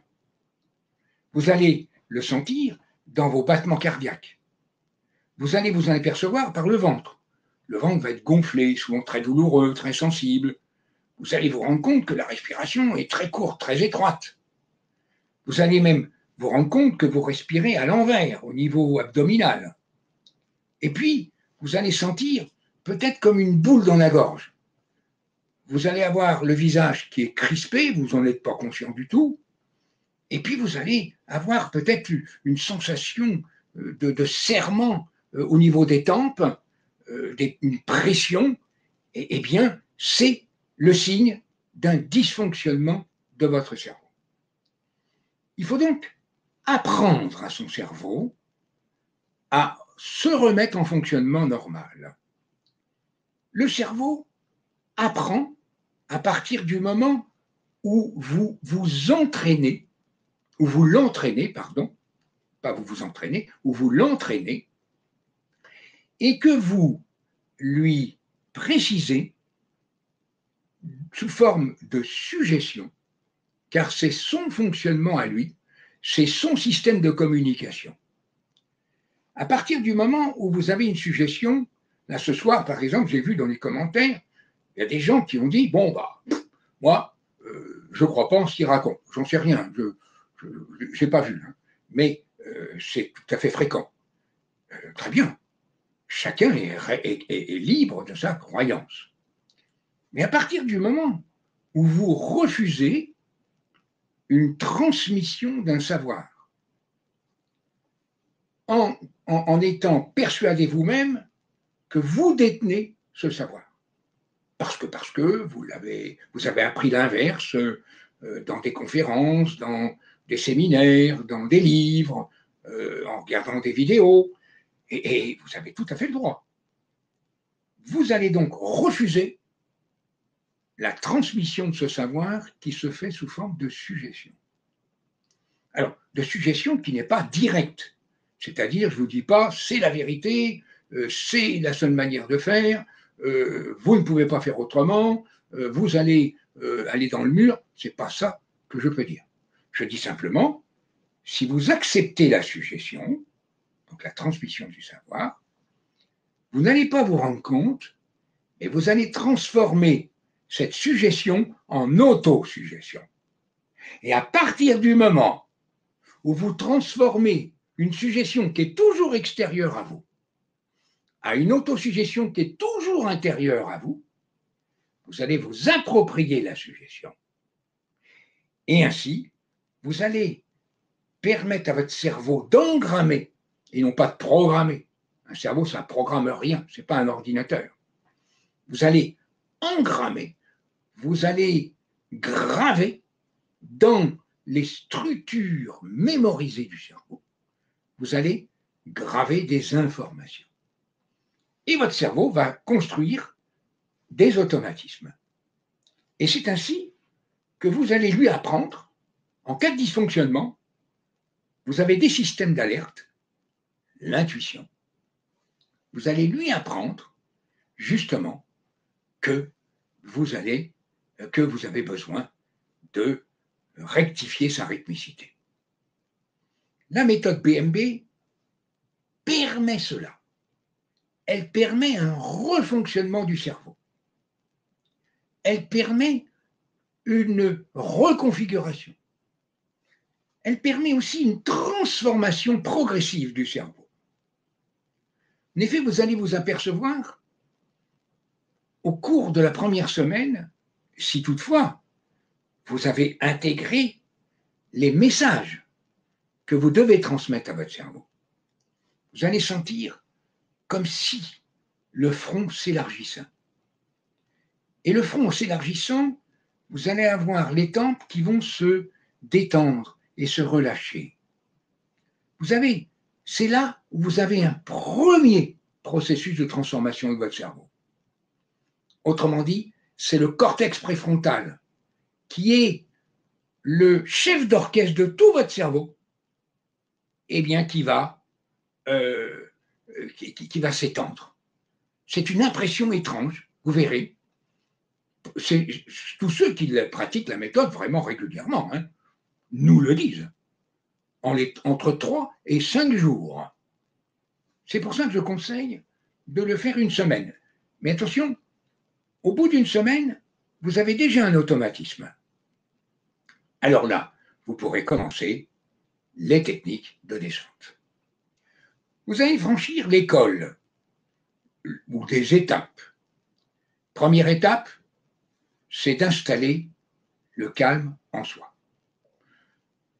Au bout de quelques séances, vous allez sentir un calme qui va vous surprendre.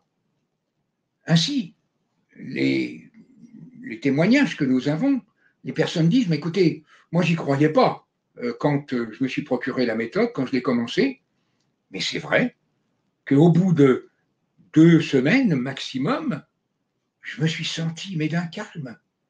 Et surtout, ça s'est prolongé dans ma vie extérieure. Là où j'étais, où je m'énervais, où je réagissais, je me suis surpris à rester calme, à rester maître de moi. C'est tout simplement parce que vous entraînez votre cerveau et que vous allez réduire la pression de ce cerveau, et plus vous allez diminuer sa rythmicité, plus vous allez augmenter l'activité mentale. Ceci est connu depuis le 19e siècle. Nous allons maintenant repasser à la deuxième étape, deuxième col de la montagne, de la haute montagne. Nous allons descendre dans le deuxième niveau de conscience, où là, nous allons être très surpris. Alors que nous ne l'avons pas cherché, eh bien le cerveau va installer en vous un état de détente qui va vous surprendre. Ainsi que, en un temps très court, vous allez vous apercevoir que vous avez le même résultat que lorsque vous faites des techniques de relaxation, où vous avez naturellement euh, la détente qui va euh, s'opérer. La différence, pourquoi c'est plus rapide que toutes les techniques de relaxation? Eh bien parce que nous partons du mental, alors que les techniques de relaxation sont psychocorporelles et qu'elles cherchent naturellement à accéder au mental. Alors, elles accèdent plus ou moins facilement au mental par le psychocorporel. Alors que nous, nous accédons euh, au psychocorporel par le mental, sans rien chercher. Troisième étape, troisième col, nous allons passer maintenant dans un état de calme, de quiétude, de détente, et nous allons commencer à sentir un état de bien-être, une sensation agréable, un sentiment de bien-être qui va nous envahir. Les, gens reviennent vers nous en disant, mais c'est surprenant, j'ai des bouffées de bonheur dans la journée, ce que je n'avais jamais eu de ma vie. Parce que il y a un entraînement régulier du cerveau. Ce qui n'exclut pas que s'il y a un coup dur dans l'existence, que s'il y a une émotion violente, et hop, le cerveau redysfonctionne. Mais vous avez les moyens de le remettre en fonctionnement. Et ceci extrêmement rapidement. Alors, on est dans, maintenant, on va passer dans un paradigme d'intériorisation.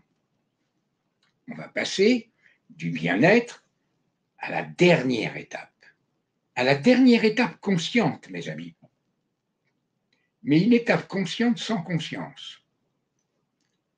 Le lâcher-prise. Vous allez vous apercevoir que vous êtes dans un lâcher-prise sans avoir cherché. Qu'il n'y a plus rien qui vous atteint vraiment parce que vous êtes dans une grande quiétude et puis vous allez vous apercevoir que ce lâcher-prise vous conduit à un sentiment de paix, de confiance, et de sérénité. Et là, quand vous avez ce sentiment de paix, attention, c'est pas le petit apaisement du calme ou de la relaxation, de la détente, ah, pas du tout. C'est la paix de l'esprit. Vous êtes en paix. Vous êtes en paix avec vous-même. Vous êtes en paix avec les autres. Et vous avancez dans une grande confiance paix, confiance, et la paix et la confiance, confiance en la vie, confiance en ce qui est en nous, confiance en notre inconscient, qui sait plus et mieux que nous ce, que nous, dont nous avons besoin. Eh bien, nous allons le découvrir dans une sérénité. Et puis, on va laisser faire. On va laisser faire. Et puis, il ne va rien se passer en apparence. Vous allez remonter, vous allez vous sentir super bien. Vous allez garder cet état de, bien-être en vous si vous entraînez jour après jour, semaine après semaine, mois après mois. Moi, je m'entraîne depuis 1976, euh, 13, pardon, date à laquelle j'ai inventé cette méthode. Il n'y a pas un jour où je ne m'entraîne pas. Pour moi, l'entraînement, c'est maximum entre 10 et 15 minutes par jour. Je ne cherche rien du tout. Quand je sens cette, cette paix intérieure, quand je sens que j'ai une confiance en mes capacités, en moi, sans aller me le répéter en permanence, quand je sens cette sérénité, je sais, je sais. Comme dit Jung, nous savons, mais nous ne savons pas que nous savons, que nous le savons. Alors je sais que je suis au contact de mon inconscient. Mais pour cela, je ne peux pas être conscient. Car si je suis conscient, et hop, je retourne à la conscience. Mais par contre, je peux être surpris de voir que j'ai dans ma vie, tout d'un coup, cette intuition qui surgit au moment où je m'y attends le moins, que j'ai tout d'un coup des réponses à des questions que je me posais. Je trouve des solutions à des problèmes très difficiles, professionnellement, mais aussi personnellement familialement, eh bien, il faut laisser faire se faire. Il faut surtout être confiant, il faut être patient et il faut avoir la foi en la vie.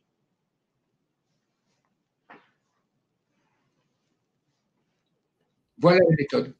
Eh ben, oui, pardon, je, te laissais terminer tranquillement.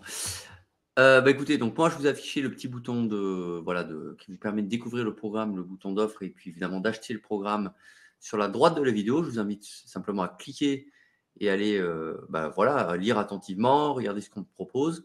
En sachant, je le dis, euh, la petite la petite page de pub. nous avons une promotion jusqu'à ce dimanche soir minuit. Vous avez 30% euh, sur, le, sur le montant total, je vais vous dire le prix. Hop, je regarde en détail. Voilà, vous avez jusqu'à dimanche soir un tarif spécial webinaire 172 euros au lieu de 247 euros. Donc vous avez une belle réduction, donc profitez-en. Et dernier élément sur le plan commercial, vous avez la possibilité de payer en une fois ou en trois fois, que ce soit par PayPal, carte bancaire, etc., ou chèque ou d'autres systèmes. Donc voilà, vraiment, on a, on a vraiment euh, voulu que tout le monde puisse s'offrir ce programme qui peut vraiment vous aider à changer votre vie même pour les gens qui ont peut-être moins de budget, on a pensé à tout le monde. Donc euh, voilà, vraiment sauter sur euh, cette occasion de, découvrir cette belle méthode et puis de faire comme les autres, les, autres personnes qui ont déjà beaucoup avancé dans leur vie et puis qui ont pu déjà bah, répondre, comme disait Bernard, à des rêves, à des aspirations et puis aussi à générer plus de synchronicité dans leur vie au quotidien. Alors, je vois qu'on a. je veux dire d'abord, je salue Guy, hein, qui est euh, l'organisateur de mon séminaire, euh, de mon présentiel le 2 mars prochain à Nice, qui est Réussite et cerveau. Donc, pour ceux qui sont intéressés, eh bien, vous avez euh, sur le, vous avez le, contact hein, avec Guy. Je salue Anne, l'écrivain dont je vous ai parlé tout à l'heure. Bonsoir Anne, mes amitiés. Euh, j'espère que Sofiane euh, se trouve là aussi ce soir. Je ne le sais pas, mais je le saurai. Voilà. Et puis je dis bonsoir Sabine et bonsoir euh, à tous ceux que je connais et bonsoir à tous ceux que je ne connais pas encore et bonsoir à tous. Alors, on se propose de, de passer aux questions. Alors, je vous invite vraiment dans le chat à nous poser toutes vos questions sur le programme, sur ce que, si vous avez des, interrogations, des besoins de précision dessus, on se fera un plaisir d'y répondre évidemment. Euh, en attendant, je vous propose de passer à la partie de questions-réponses.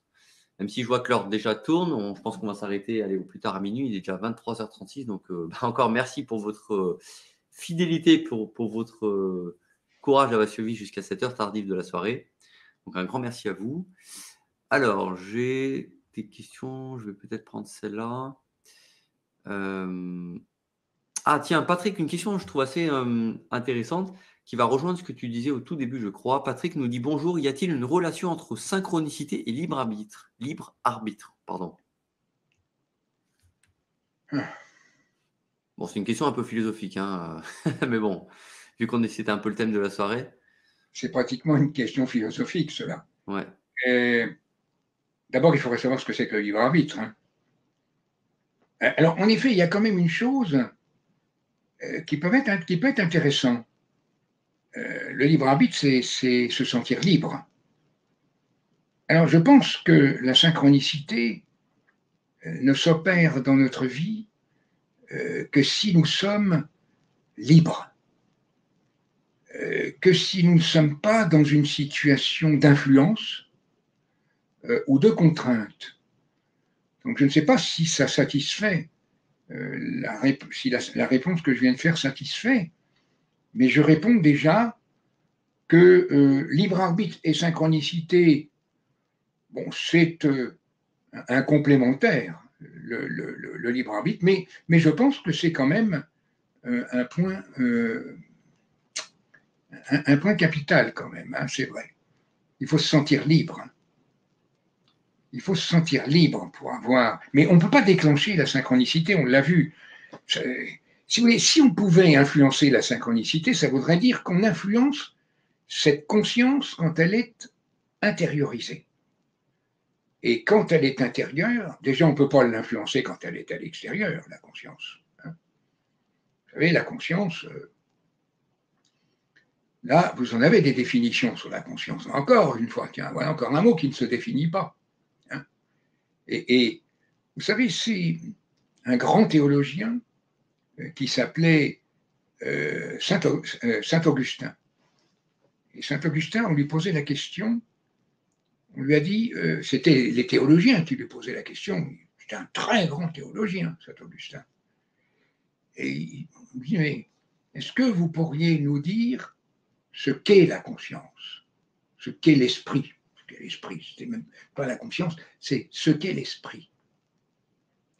Saint-Augustin répond de façon surprenante.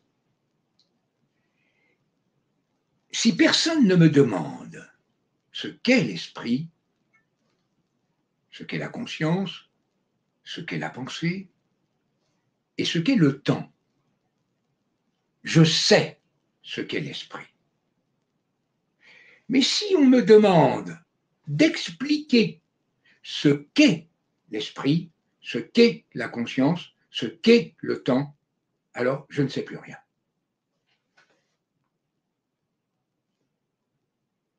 Une question de Jacqueline qui nous dit perception extrasensorielle. Alors, la perception extrasensorielle découle-t-elle de l'intuition ou est-elle totalement séparée en essence? Donc, les perceptions extrasensorielles, est-ce qu'il y a un lien avec l'intuition ou pas? Alors, la perception extrasensorielle, euh, oui, peut avoir un lien avec l'intuition puisque l'intuition va passer par euh, des processus sensoriels. Et je pense en effet qu'il y a euh, un rapport hein, entre la perception extrasensorielle tout en sachant que la relation avec l'intuition euh, serait une relation de sortie, c'est-à-dire euh, ce n'est pas, c'est pas, pas un système de perception, l'intuition. Je, sais que c'est dit d'ailleurs dans certains endroits, hein, dans, certains, euh, dans certaines conférences. Et moi, je dispose d'aucune vérité, hein, je vous l'ai dit. Hein, voilà. Mais les autres non plus. Donc ça rassure. Mais, ce que je dois dire, c'est que, en effet, la perception extrasensorielle, elle va euh, découler de l'après-intuition. Autrement dit, l'intuition, c'est un phénomène psychique qui se trouve au-dedans de nous-mêmes, ce que nous appelons communément l'inconscient, c'est-à-dire au-dedans, in. In, intuition, in, préfixe in. C'est lorsque cette, ce, ce phénomène psychique jaillit de l'inconscient, de, l'intériorité, que là, elle peut se transformer en perception extrasensorielle. Mais elle n'est pas une perception, pas plus sensorielle qu'extrasensorielle. Alors, je vais vous lire deux, trois commentaires de, que nous ont fait des personnes et on les remercie chaleureusement. On a par exemple Agnès qui vient de nous dire Bonsoir, monsieur Boissier. Je suis une de vos admiratrices dans les première à avoir utilisé la méthode BMB. Je suis heureuse de vous suivre en webinaire. Bravo. On a aussi, euh, donc bah, merci Agnès. Euh, alors attends, j'en avais une autre. Ah oui, voilà. Catherine, un très grand merci, Monsieur Boissier, pour cette conférence si intéressante. Je suis la méthode depuis un an avec bonheur. Merci également à l'équipe depuis Bouddha. Merci Catherine pour ton retour. je crois que je l'avais noté. Bon, il y en a pas mal d'autres, hein, mais je ne vous les lis pas tous, mais je prends les derniers en date. Euh, Bon, après, il faut remonter. Bon, je vais reprendre un peu les questions, puis je vais peut-être en retrouver un ou deux entre-temps. Alors, on avait euh, Sylvie qui te demande Bonsoir, est-ce que les impressions de déjà vécu sont-elles des synchronicités? Non. Rien à voir, d'accord. C'est un phénomène psychique, mais qui est à part. Ok. Bon, ben, comme ça, c'est répondu. Euh, ensuite, on a alors Jacqueline qui te dit, et l'intuition puisse-t-elle dans l'inconscient collectif? Alors qu'est-ce qu'on appellerait l'inconscient collectif déjà? Est-ce qu'il y a une définition? Ou est-ce que pareil c'est un petit peu euh, interprétatif? L'inconscient collectif euh, est un concept que Jung a développé, mais euh, je, pense honnêtement que l'intuition ne peut pas être collective. Elle est un phénomène naturel, totalement personnel. Mais nous pouvons avoir euh, parfois euh, des pressentiments qui, est une forme d'intuition euh, par rapport à d'autres personnes, par rapport à des événements. Cela nous est rapporté tous les jours. Hein. On n'est qu'à écouter les journaux télévisés, vous seriez très très surpris, même les journaux écrits, vous seriez très surpris de voir combien, combien, combien il y a eu des alertes hein, dans des incendies, choses comme ça. Et puis la personne se retrouve, euh, je ne sais pas pourquoi, dans la rue alors que la maison est en flammes. parce que parce que il y a eu euh, un rêve prémonitoire qui fait partie, là aussi, d'un phénomène psychique euh, que l'on pourrait rapprocher de l'intuition, mais qui n'est pas l'intuition. Peut-être de la divination ou ce qu'on pourrait. Oui, le, pressentiment, est, un. Ce, sont, ce sont, alors, ce sont des phénomènes psychiques, là aussi, totalement inexpliqués. Hein. Euh, rêve prémonitoire, préscience, le, le, le, pressentiment, euh, la devination. Euh, mais, je pense que la devination, par exemple, c'est une fonction du cerveau. C'est une fonction mentale et psychique de notre cerveau. Voilà.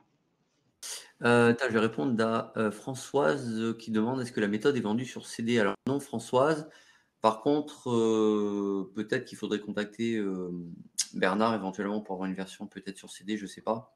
En tout cas, hein, je, le, rappelle, la, version en ligne est accessible 24 heures sur 24 sur euh, n'importe quel ordinateur, PC, Macintosh, euh, tablette, euh, téléphone portable. Évidemment, vous avez un accès qui est illimité. Et en fait, vous avez une série de vidéos. Vous avez, alors je ne vais peut-être pas préciser, donc c'est bien du coup comme, comme question. Ça permet de, rajouter les éléments suivants, c'est-à-dire que la formation est faite, donc comme on l'a dit, en six étapes. On l'a découpé en semaines, mais c'est un petit peu on va dire, une sorte de, manière pédagogique de le présenter. Euh, vous avez à chaque fois une vidéo qui résume la semaine précédente, la vidéo de la semaine, et à chaque semaine, vous avez évidemment un document PDF qui vous donne toutes les, phrases à dire en plus de, des exercices et de respiration 3N. Vous avez évidemment un petit livret, donc ce livret est téléchargeable, imprimable, et vous avez aussi le livret global qui reprend toute la, formation. Donc c'est vraiment très complet. Vous pouvez tout à fait du coup l'imprimer, partir avec en vacances ou ailleurs, ou le faire, je sais pas, dans votre canapé, dans votre lit, où vous voulez. Euh, et ça permet vraiment d'avoir une certaine autonomie de l'utilisation et de pas forcément être devant un écran. Voilà. Ça, c'est pour répondre à la question. Euh, Flora, est-ce que tu peux me reposer ta question? Je ne comprends pas bien. Tu me demandes si je suis un, euh, je suis déjà la méthode BMB. Est-ce que ce webinaire fait double emploi avec la méthode? Bah, Le webinaire de ce soir ne fait pas double emploi avec la méthode. C'est une présentation, mais je ne suis pas sûr de comprendre la question. Voilà, donc si tu veux bien me repréciser ta question, Flora, s'il te plaît, je pourrais du coup y répondre. Merci. Pour ceux qui sont intéressés, hein, je, je fais un, un, séminaire de deux jours à Paris. Je crois que c'est le 23 et 24 mars. D'ailleurs, c'est sur. Euh, c'est annoncé par Malbi Bouddha, c'est organisé par Malbi Bouddha. Euh, c'est euh, sur justement comment peut-on libérer l'intuition? Si ça ne se développe pas, ça peut se apprendre à se libérer. Mais encore une fois, il faut apprendre à refaire fonctionner son cerveau. avec un séminaire comme celui-là, vous sortez, vous avez toutes les réponses. Alors, on a Janine qui te dit, on dit que les enfants sont naturellement intuitifs jusqu'à 6 ans. Euh, voilà, qu'est-ce que tu peux dire là-dessus? Est-ce que les enfants sont plus intuitifs ou est-ce que c'est une croyance ou un... Non, alors... Euh, bon, je pense que je connais bien le sujet. Euh, l'enfant fonctionne sur un mode subconscient du cerveau. Mais pas forcément sur un mode intuitif. Autrement dit, on n'est pas dans, dans la dimension intuitive, on est dans la dimension subconsciente du cerveau. Alors c'est vrai que l'enfant fonctionne dans une dimension subconsciente, mais le vieillissement euh, cérébral euh, va justement reprovoquer euh, un état un mode subconscient ce qu'on appelle retourner en enfance pour les personnes euh, âgées euh, qui perdent un peu euh, le sens de la vie. Et, il faut voir que ils vont retourner sur un mode, ils vont refonctionner sur le mode subconscient de leur cerveau sans pouvoir accéder facilement au mode conscient du cerveau. Et donc d'ailleurs, ça va être un petit peu disproportionné puisque ce qu'on accepte d'un petit enfant, on ne va pas l'accepter d'une personne âgée. Alors, tiens, on a une remarque de. un retour d'expérience de Guy qui te dit, j'ai bien aimé la phrase, Guy te dit du grand BMB ce soir, point d'exclamation, si l'intuition m'était comptée, point d'exclamation, le hasard n'existe pas et c'est pour cela que nous sommes ici. Donc, bah, merci euh, Guy pour ce retour en plus sur un ton assez humoristique, j'aime bien, mais tout à fait réel.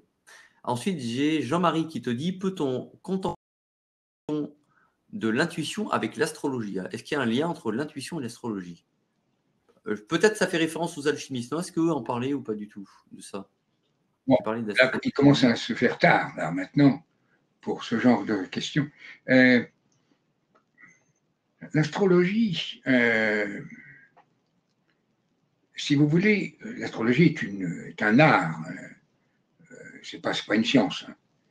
Euh, c'est un art qui est très ancien et qui a été euh, reconfiguré euh, par les alchimistes de la Renaissance, et, notamment Paracels, hein, qui a écrit un ouvrage qui s'appelle Traité d'astronomie intérieure. Alors, bon, est-ce que nous, bon, si nous considérons le cosmos euh, est en nous-mêmes et, que nous-mêmes nous sommes dans le cosmos, à ce moment-là, l'astrologie est vraie. Mais je ne pense pas que l'on puisse trouver euh, l'intuition dans, euh, dans l'astrologie. Mais encore une fois, je respecte beaucoup. Alors, les astrologues qui font de l'astrologie divinatoire ou autre, pour moi, aucun intérêt. Mais Jung lui-même c'est tout à fait penché sur l'astrologie, mais une forme d'astrologie qui était une astronomie intérieure. Très bien, voilà. On va prendre les deux, trois dernières questions parce que le... il est bientôt minuit. Alors, euh, on a Annie qui te dit L'intuition ne relèverait-elle pas d'une sensibilité et d'une compréhension des énergies que nous ressentons? Point d'interrogation, comme un don, point d'interrogation, indéfinissable, point d'interrogation. Alors, je serais tenté de, de vous répondre de la même manière que j'ai construit ma, conférence, enfin, les, fondamentaux de ma conférence. Il euh, faut savoir que, l'intuition, déjà, on, a une réponse. Alors attendez, elle n'est pas de moi la réponse. Hein. Elle est d'un des grands savants du 19e et du 20e siècle, qui est le professeur William James qui est le, fondateur euh, de la neuropsychologie, que vous connaissez sûrement. Euh, donc, ça veut dire que c'est un, un, grand scientifique. Et je peux vous dire une chose, c'est qu'il disait que l'intuition n'est pas, n'est pas du tout ni, un épiphanie, ni une épiphanie, ni un don. Mais c'est un phénomène psychique qui est tout à fait naturel chez l'être humain. Alors, ça peut être un don de la vie, mais, la vie elle-même est un don de la création. Autrement dit, l'intuition, c'est un phénomène naturel et normal, nous dit William James, d'ailleurs c'est une citation euh, que Jung avait reprise. Hein. Donc, ça veut dire qu'elle a beaucoup, beaucoup, beaucoup d'intérêt. Hein. C'est-à-dire que, en effet, on, élimine tout ce qui est magique. Hein tout ce qui est épiphanie, tout ce qui est ésotérique, tout ce qui est religieux, tout ce qui est don, c'est un phénomène, c'est un épiphénomène, c'est-à-dire qu'il est plus qu'un phénomène, c'est un phénomène psychique, naturel, normal, mais qui est euh, inquiétant. Il le dit d'ailleurs. C'est vrai que c'est très inquiétant qui est absolument inexpliqué. Et c'est d'ailleurs ce que va reprendre l'Académie française lorsque Poincaré va être reçu à l'Académie et que le mot intuition va être inscrit pour toujours dans la langue française. Voilà. Alors, je vais répondre aux deux questions. Euh, ah non, peut-être une question avant de Michel qui nous demande est-ce que la conférence de ce soir sera dans l'espace de formation? Alors non, Michel, par contre, vous aurez le replay demain dans la journée. Donc je vous invite à simplement, c'est un lien YouTube hein, qu'on va vous envoyer. Donc euh, mettez-le de côté, vous sauvegardez le lien pour pouvoir le, le, revoir à tout moment. Par contre, du coup, ça me fait penser à quelque chose que j'ai oublié de vous dire tout à l'heure. Quand on présentait le programme, c'est que en plus du programme, évidemment, si vous l'achetez, vous aurez bien entendu euh, un webinaire d'accompagnement. Donc, on en fait un à peu près tous les mois ou tous les trois semaines, ça dépend. Euh, donc, vous avez un webinaire d'accompagnement qui est inclus dans le, tarif de la méthode. Et c'est Bernard qui répond en personne euh, aux questions liées à l'utilisation de la méthode. Donc, uniquement réservé aux clients, bien entendu.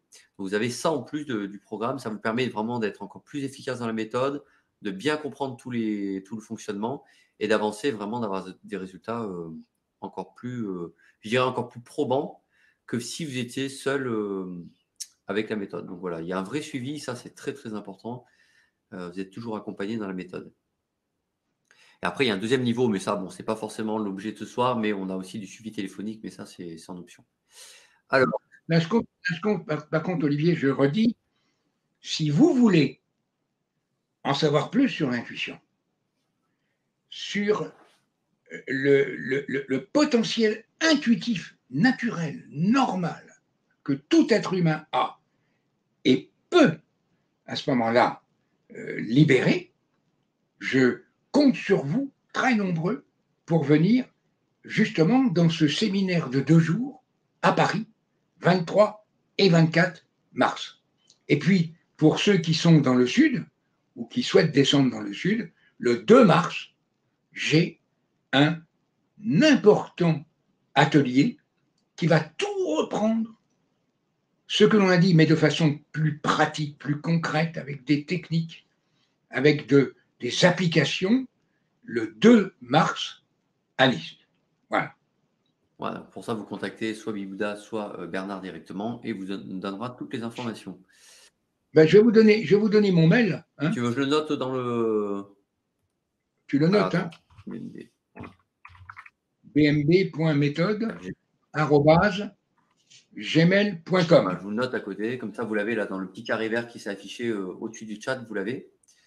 Euh, je viens de vous l'écrire, donc vous pouvez tout à fait écrire à Bernard pour tout ce qui est renseignement lié au stage et autres. C'est ça. Hein. Exactement. Pas, pour me dire que vous êtes malade et si je peux vous aider. individuel, mais c'est autre chose. Euh, Ok, mais écoutez, je crois qu'on a fait le tour. Bah, Lily euh, qui dit j'ai toujours pas compris le contenu de la méthode. Bah, Lily, on l'a expliqué tout à l'heure. En fait, pour résumer, c'est une méthode en six étapes, six semaines. À chaque semaine, tu as une, une vidéo, voire même deux vidéos qui t'expliquent les exercices à pratiquer euh, voilà, le jour. Après, tu fais matin, midi, soir, quand tu veux, quand c'est mieux pour toi. Avec euh, tous les documents que tu peux du coup imprimer et emmener avec toi avec les phrases à dire en plus. Il y a tout l'exercice évidemment de la respiration 3N qui t'est expliqué. Bref, l'idée, c'est d'ouvrir un peu ce que dirait, euh, ce qu'on disait la dernière fois, c'est un petit peu de, comment dire, permettre la capacité de l'ouverture d'esprit, qui va ensuite permettre de générer plus de synchronicité par l'ouverture de l'esprit intérieur, et tout ça avec une série d'outils et de méthodes.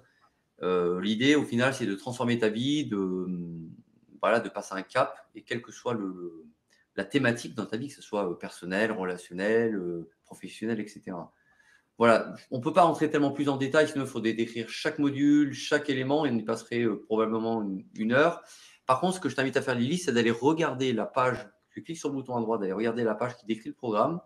Et on, par contre, là, pour le coup, sur la page, on te décrit semaine par semaine ce qu'il y a à l'intérieur du programme, qu'est-ce que tu vas y trouver, quels résultats sont à, attendre, etc. Donc voilà, je pense que c'est comme ça que sera, ça sera le plus simple de te répondre. Et on a Christiane qui dit peut-on utiliser la méthode si on a fait un pneumothorax? Il y a 10 Oui, oui, tout à fait. Oui, ok. Voilà. Euh, il ne faut pas trop forcer sur la respiration euh, pulmonaire. Voilà, c'est ça. Euh, ok, méthode Mais ce n'est pas une technique de respiration pulmonaire. D'accord, oui, ça c'est qu'une. Oui, tout à fait. On respire bien sûr par le poumon. Hein. Il y a Thierry qui te remercie. Il dit qu'il va commencer la méthode cette semaine pour continuer à progresser davantage. Voilà. Ah, tu as les amitiés Thierry. Bah, écoute, merci Thierry, en tout cas pour ton retour. Euh, tiens, j'ai une question aussi un petit peu philosophique, mais je te la pose juste comme ça euh, pour le, pour le fun. Joël qui te dit Le destin est-il une suite de synchronicité Bon, ça peut être un, sujet de réflexion pour la nuit si vous avez encore un peu de temps devant vous. En tout cas, c'était juste pour lancer un petit sujet philosophique. Mais chacun, il fera son, son chemin par rapport à ce que vous avez pu comprendre du sujet du, de la conférence de ce soir. Bah, écoute, je crois qu'on a répondu à peu près à toutes les questions. Euh, on a fait un joli tour hein, ce soir. Encore vraiment un très très grand merci à toi, Bernard. On a vraiment abordé tous les sujets. Euh, Pour ceux qui se posent la question, j'ai 77 ans. Hein. Oui, voilà, parce qu'il y a des gens qui, d'ailleurs, qui des fois te croient pas, disent non, mais c'est pas possible, tu as 20 ans de moins. Si, si, vraiment, tu as l'âge que tu as. Je suis né en 1941. Ça te permet d'avoir cette vitalité et puis cette, euh, cette vie. C'est ma méthode. Exactement. Que tu fais depuis 40 ans quand même. Ouais. Évidemment. Mais bon, ça t'a permis de te sortir d'un accident gravissime. Oh là Combien, combien, combien de coups durs Et moi, je peux vous dire que je l'ai vu marcher dans Paris. Euh, je peux dire qu'il gambade, hein, notre ami Bernard. Donc, euh, sa méthode marche vraiment. Ma femme trouve que je ne marche pas assez vite. exactement. Bah, écoute, je sais pas, est-ce que tu as peut-être un petit message avant d'aller euh, dormir pour euh, à transmettre aux personnes qui nous écoutent ce soir et puis ensuite on va se dire au revoir bah, J'espère leur avoir euh, dit ce qui est quand même le résultat aussi de plus de 40 années d'expérience. et, de recherche. Et que ce que je dois dire, c'est que la méthode est en train de partir euh, grâce à un webinaire hein, euh, au Mali. Le 20 février, je vais rencontrer euh, entre 30 et 50 chefs d'entreprise au Mali qui, viennent de toute l'Afrique. des chefs d'entreprise qui ne sont pas des Africains forcément, hein, qui sont des très grandes entreprises qui sont implantés en Afrique. Et puis, euh, je suis demandé au Maroc aussi, euh, euh, je crois que c'est fin mars, là, devant tous les expatriés de Marrakech, où je vais, leur, expliquer ce que c'est que le stress, le dysfonctionnement du cerveau, et, puis leur proposer une méthode qui permet de le refaire, de, le refaire fonctionner correctement. Mais quand mon cerveau dysfonctionne, ce qui arrive très fréquemment, je le fais refonctionner. Donc, ce qui veut dire qu'on n'est pas du tout, du tout à l'abri hein, de ce dysfonctionnement. Hein, vous avez, vous avez le dysfonctionnement qui est continu, là, qui est un état de stress intense, mais vous avez un dysfonctionnement passager et qui souvent se résorbe tout seul, mais qui laisse quand même des traces. Alors que nous, grâce à la méthode, moi, dès que j'ai un dysfonctionnement, c'est-à-dire j'ai une mauvaise nouvelle, je me sens nerveux, je me sens fatigué, hop, je m'installe et je m'isole trois minutes et je remets en fonctionnement mon cerveau et je me sens super bien. Ce que j'ai fait avant mon webinaire, j'ai fait, j'ai refait un, refonctionnement de mon cerveau vers 19h. Euh, voilà. C'est peut-être pour ça que je suis encore parmi vous avec bon pied, bon oeil. Voilà, vous savez tout, vous avez tout ce qu'il faut pour. Euh, voilà, mais vous savez, je ne suis pas un commerçant, hein, je ne cherche pas à vendre. Je cherche à être utile, mais à vendre, tant mieux. Mais le, la véritable motivation, c'est être utile aux autres. Eh bien, écoute, mon cher Bernard. Je n'ai de vérité infuse. Exactement. On peut me croire ou pas me croire, ça ne me dérange absolument pas. Voilà. En tout cas, un grand, grand merci à vous toutes et vous tous d'avoir vraiment euh, joué le jeu, d'être parmi nous ce soir, d'avoir tenu jusqu'à minuit. Il est quelle heure? Il est minuit 04. Donc, euh, ouais, on a fait 3h33 de webinaire. Donc, vraiment, très, très belle prouesse. Donc, euh, un très grand merci à vous d'avoir. Et pourtant, on avait décidé ce soir qu'on faisait beaucoup plus court, mais le sujet ne se prêtait pas. voilà, c'est ça. Et puis, il y avait quand même beaucoup de choses à dire, donc c'est vraiment super. Et voilà. Sinon, j'abrégeais, j'abrégeais, mais c'est dangereux. Non, puis il y avait vraiment là ce soir des très très belles pépites, et puis tu as vraiment aussi euh, donné ta vision qui, est, assez singulière et assez. Alors, le pneumothorax, il y a 10 ans, pas de problème, c'est cicatrisé. Voilà. Ok. Mais écoute, mon cher Bernard, je peux que te remercier chaleureusement euh, pour ta belle prouesse et puis pour ton énergie ce soir, pour tes partages. Et je sais que tu le fais toujours avec euh, bonté, avec le cœur. Donc, euh, grand merci. Puis, bah, écoute, on se retrouve à peu près, je crois, dans un mois pour un nouveau sujet, pour un nouveau webinaire. Et puis, bah, écoutez, en tout cas, portez-vous bien, prenez soin de vous. Je vous dirais juste une chose avant de partir. Ah, tiens. Le mot de la fin. C'est peut-être le secret euh, de ma longévité. Si l'on ouvre son esprit en grand, alors on peut connaître le succès et la réussite. Si l'on ouvre son cœur aux autres, alors on connaît le bonheur, la paix, la plénitude et l'abondance. Bonsoir. À bientôt. À bientôt.